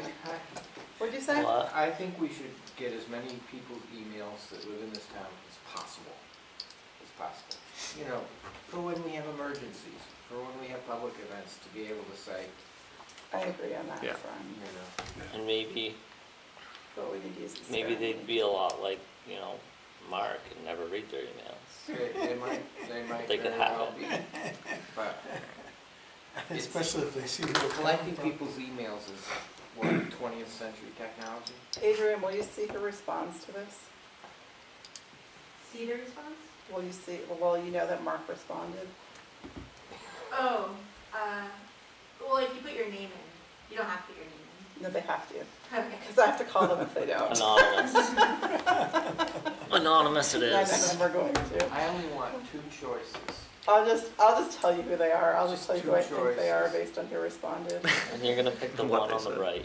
Okay, Whatever. um, I go awesome. to Thank you very much. Yeah, thank you, for Adrian. Your time. There's too Do many you choices wanna, in the world. you wanna set a, t- a day for, to look at first sketches, or? Yeah, I'll follow up with you. Oh, look, Okay. Randall has an email. Excellent. Oh, good. That's so magical. Thanks for getting that done, Tom. Yeah, it Mark's was, got a phone now too. It's also Okay, magical. cool. Everyone has the, has the survey now, so you can fill it out while we talk. If you want to right now. I'm afraid to turn my phone back on. I don't think we dare let you turn your phone back. I It's a powered little it weird. on. when you come out of um, it. On no volume, no rain, still. Ordinance We gotta review stop from subscribing to those 1997. websites. What is this ordinance try to review get for through this. road names? this is nine nine, nine nine, Nine nine one one one. one, thank you. Okay, the ro, the nine-one-one ordinance from nineteen ninety-seven with an amendment in like in two thousand nineteen. This is like your ask, Bradley Duncan. Reed's signature on Where are the minutes? Whole Can I bunch, offer a thought? on whole that? bunch of signatures right there. There you go. That, that, my thought would be that we should revisit the whole ordinance and not try and do anything. I, I don't think you were recommending No, anything no, I- specific tonight, you were just, I was just told to put it Suggesting- on and then put what we had, yeah. So what do you want to be thinking about, Duncan? Do you just want? well, for one thing, I think the, the recommendation of, that's in there right now may be slightly different than what the interest of the current Historical Society Board is. Um, and it may be, it may be that this works fine, um, and doesn't need any changes, but there may be other things that we should look at in, in that ordinance. I gotta tell you, that ordinance is pretty minimal. Um, It is just a road naming ordinance. It is. How, And, and a how lot of it's, the purpose of that ordinance was to establish a protocol for creating the original nine-one-one roads. When rural routes went away? It must have been Yes. when wur- rural routes Yes. went away. Yes, and, you know, the nine-one-one I process. do remember that's that. before, Yeah. I- that's before I was born. I Yeah. know, might have. Well, of course, I mean, the nine-one-one addressing is a lot more than just your mailing address. It's, Yeah. it's how emergency service providers know where you, where you are. Um, So that's, that's an important piece, and that's pretty critical to, you know, there's a statewide database that's kept on nine-one-one road a- addresses so that the emergency service providers can actually find you in the Yeah. event of emergency. Somebody from In- India is answering nine-one-one nowadays. Well, it- Not here. Yeah, not, not actually. Here it's- That's but- separate from a conversation about E nine one one naming ordinance, Mark, but thank you. There's been a lot of comments like that. This is your first time responding. Okay, uh, That's why it's get out of me. Okay. It's the number one delighter in media. so what what are you proposing, Duncan, as the next step? I, I would suggest that we, you know, maybe, maybe Tom, in his spare time, can work, spare time. work on, uh, you know, a, a, a- a modified, and I'm, I'm happy to assist. Absolutely. I would, I would actually like to hear what you would like added to it. Uh, adding the fact that the historical society needs to sign off on it is not a meaningful enough change to need to change an ordinance. Um, I, I don't understand what the advantage to tying the town is. And the last three or two roads that we've named, they've declined to answer. It's slowed down work for a developer, been aggravating on the other end. I don't see the advantage unless there's like, I see more advantage in like a standard, a road building standard before you can name it, if that's even allowed. We have that, Um, we have a development road standard. so I would rather see that updated than the naming, because the naming is, I, I don't know what really needs to be added to make it better. I'm interested. And, and I'm not sure that I can give you an adequate answer without doing, I think, my personal opinion is all the ordinances should probably be looked at periodically to see whether or not they should be, I whether agree. We should have a antiquated and rotating outdated. My plan, favorite thing yes. to do, actually. There's plenty of them. Yeah. I would agree on that. Well, I, and I think we should, you know, periodically, I don't think we should just assume that, you know, policies or You know how we have an intern ordinances right now? stay static. So for periodically Look up looking at um, ordinances, is this the I can get oldest one? whatever's that semester. It's gotta be one of the One of them I would love to do. Is it the oldest? I, I'd have to look at it in that book. Okay, so let's do this. Okay, we're not gonna get, we're not gonna solve this right now. Agree, we need to have a rotating ordinance policy review, however many years. However many number of policies or ordinance per year, we should just keep something rotating. One. For this, very specifically, I'm looking at this, if you and Tom want to take it away and make proposals on whether or not you, you recommend changes, what those changes would be, if you want to take that on, that would be lovely. And we'll, when you're ready, we'll add it back to an agenda. Uh, the rest of us can look at it too. I'll think about it a little bit, but like honestly, I don't feel like I know enough about it to be very instrumental in suggestions. Uh, Do you want to take that on? I'm happy to. Um, I I have to agree with Duncan, the fact that they weren't side by side in one location makes the amendment versus the ordinance cumbersome for residents. It's not an amendment, it's a policy. Oh, I see. There's an ordinance and kind of a verbal policy, right, from two thousand nineteen. Yes. It's not an amendment to an ordinance. And it's just a draft, this is just a draft proposed amendment. it That looks was- like. yeah, it was Well, it was, approved. it was adopted and Oh, yeah, approved that's as a what I see. policy by the board. The, uh, the minutes, it's actually twelve eighteen, not Oh. twelve eleven, just didn't copy well. So, uh, it was approved at a select board meeting. Should put a that- new title on it. The proposed amendment to was approved by the select board. Gotcha, okay, Um, cool. Okay, you guys will take it away and let us know what you find. And at some point, when, probably after budget season, I would be happy to connect with you. I won't make my comment. I'll be happy to connect with you on a plan for ordinance policy review, to keep a rotating schedule. Yeah. But that first, okay, but my, but the thing that we were just talking about is we need to make sure we have access to all of our ordinance and policies, which we know for the past year is not Would be- true. It would be nice to have. Uh, so that would be the first order at hand before we can decide what to review as a rotating Day one, I asked to pull, the- to see them as just like a starting point to get a feel for the town. And there were two binders that, one was town, both town and village, and they, you could tell that they were out of date, they haven't been added to. The binders are what we have. Yeah, That's what we don't have. Exactly. Is the problem. Because there Yes. are things on the network or on a machine, maybe on your machine, just Yeah. on the desktop, that don't exist anywhere else. I Right. promise you that's true. So like identifying all of those things, that's the And first, consolidating them in a searchable way, yeah, just getting, Well, we just also getting an have inventory. binders. Um, it would really be And we nice have to have a binder that has every adopted policy. That was, that was what our binders were supposed to be. Yeah, but, Yes. yeah, but there I was some that remember. were missing. Hmm? Yeah, there There were were some. some that were missing. Yes, absolutely.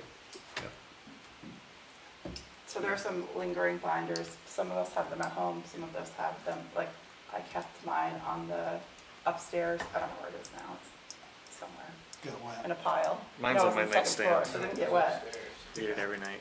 Now it's lost yeah, anyway, forever. okay. Mine's in my office. Really? Creation of road naming, those two go hand in hand, yeah? Yeah. yeah. Yeah, it was like, the item to add was checklists for road naming, just like maybe an appendix for the nine-one-one ordinance, as far as like from the builder side, is that what I understood? No, that's a different one. See, Eric- Evan Eric talking Osgood's about on there. creating a You'd have to a uh, road, like, change with your specs on mailing every address. road. and- That's But what apparently that, that already exists somewhere else. so we can cross that out. Didn't even know that exists, We and I should doubt make sure- anybody follows that one. We need to make sure that one we can find in the ether. Uh, I highly doubt that one's ever The followed. road building specs, Or road Ordinance. yeah, or standard specs, whatever. Is that an ordinance? No, it's policy. I've never seen that one. Policy. Okay. And it's in the book, and I will tell you that that's. That one one's in our ones- binder, you mean? It's in the binder, Oh. yeah. Oh, I haven't Must have missed that one. Blaine, Blaine Delisle and Rocky Hooper and Brad Reed and Okay, we have two more items to get through. The first is class four roads. I propose we bump this. Why? Okay, what do you want to talk about? Duncan wanted to talk about Okay, it. class four roads. We don't need to talk about it, I just would like to make sure that we don't drop it. Yeah, The I, I class wanna kinda road review the policy policy. Class four roads, let's, let's look at this as an agenda item for our first November meeting. Sounds great. And that's gonna be a policy update? Well, the planning commission presented Yeah. Yeah, a, a pr- policy proposal, right? They They did. did. It Feels- was before my time, I don't. almost a year ago now. While That was two years ago. Two years. You and I were Yeah, not on we the were board. not on the It might board have when been that. even been three years ago, Yeah. honestly. It was right after Evan and I started. It wasn't long after we It was went when I back was on the the first planning meeting. Maintenance of class four. Um, yes, and, Thing. um, I agree. some of it is. Hold off, um, I'll be retired. Okay. Possibly changing classifications, you know. And so So. Reclassification. we'll all pull up and look through the last four so we're ready for the beginning of November. We Yeah. will? Yep, we will. Check. Will you, will you send a reminder out? Sure. I'll actually schedule an email to send, and maybe it'll go, and maybe it On won't. the first meeting in November, can we bump it to December? Sure. Okay. Um, executive session for the six-month review of town assessor, VSA, uh, where was the letter? Oh, it's only nine thirty. A through Yeah, you start tapping that pencil.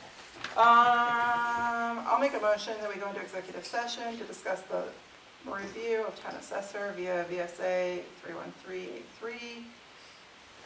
Second? And there'll be some, a potential motion coming out, There right? may be a motion coming out of executive session. Alright, Third, Uh, all those in favor? fourth, aye. aye, just kind of- fifth, We are in executive Sixth. session at 9:23.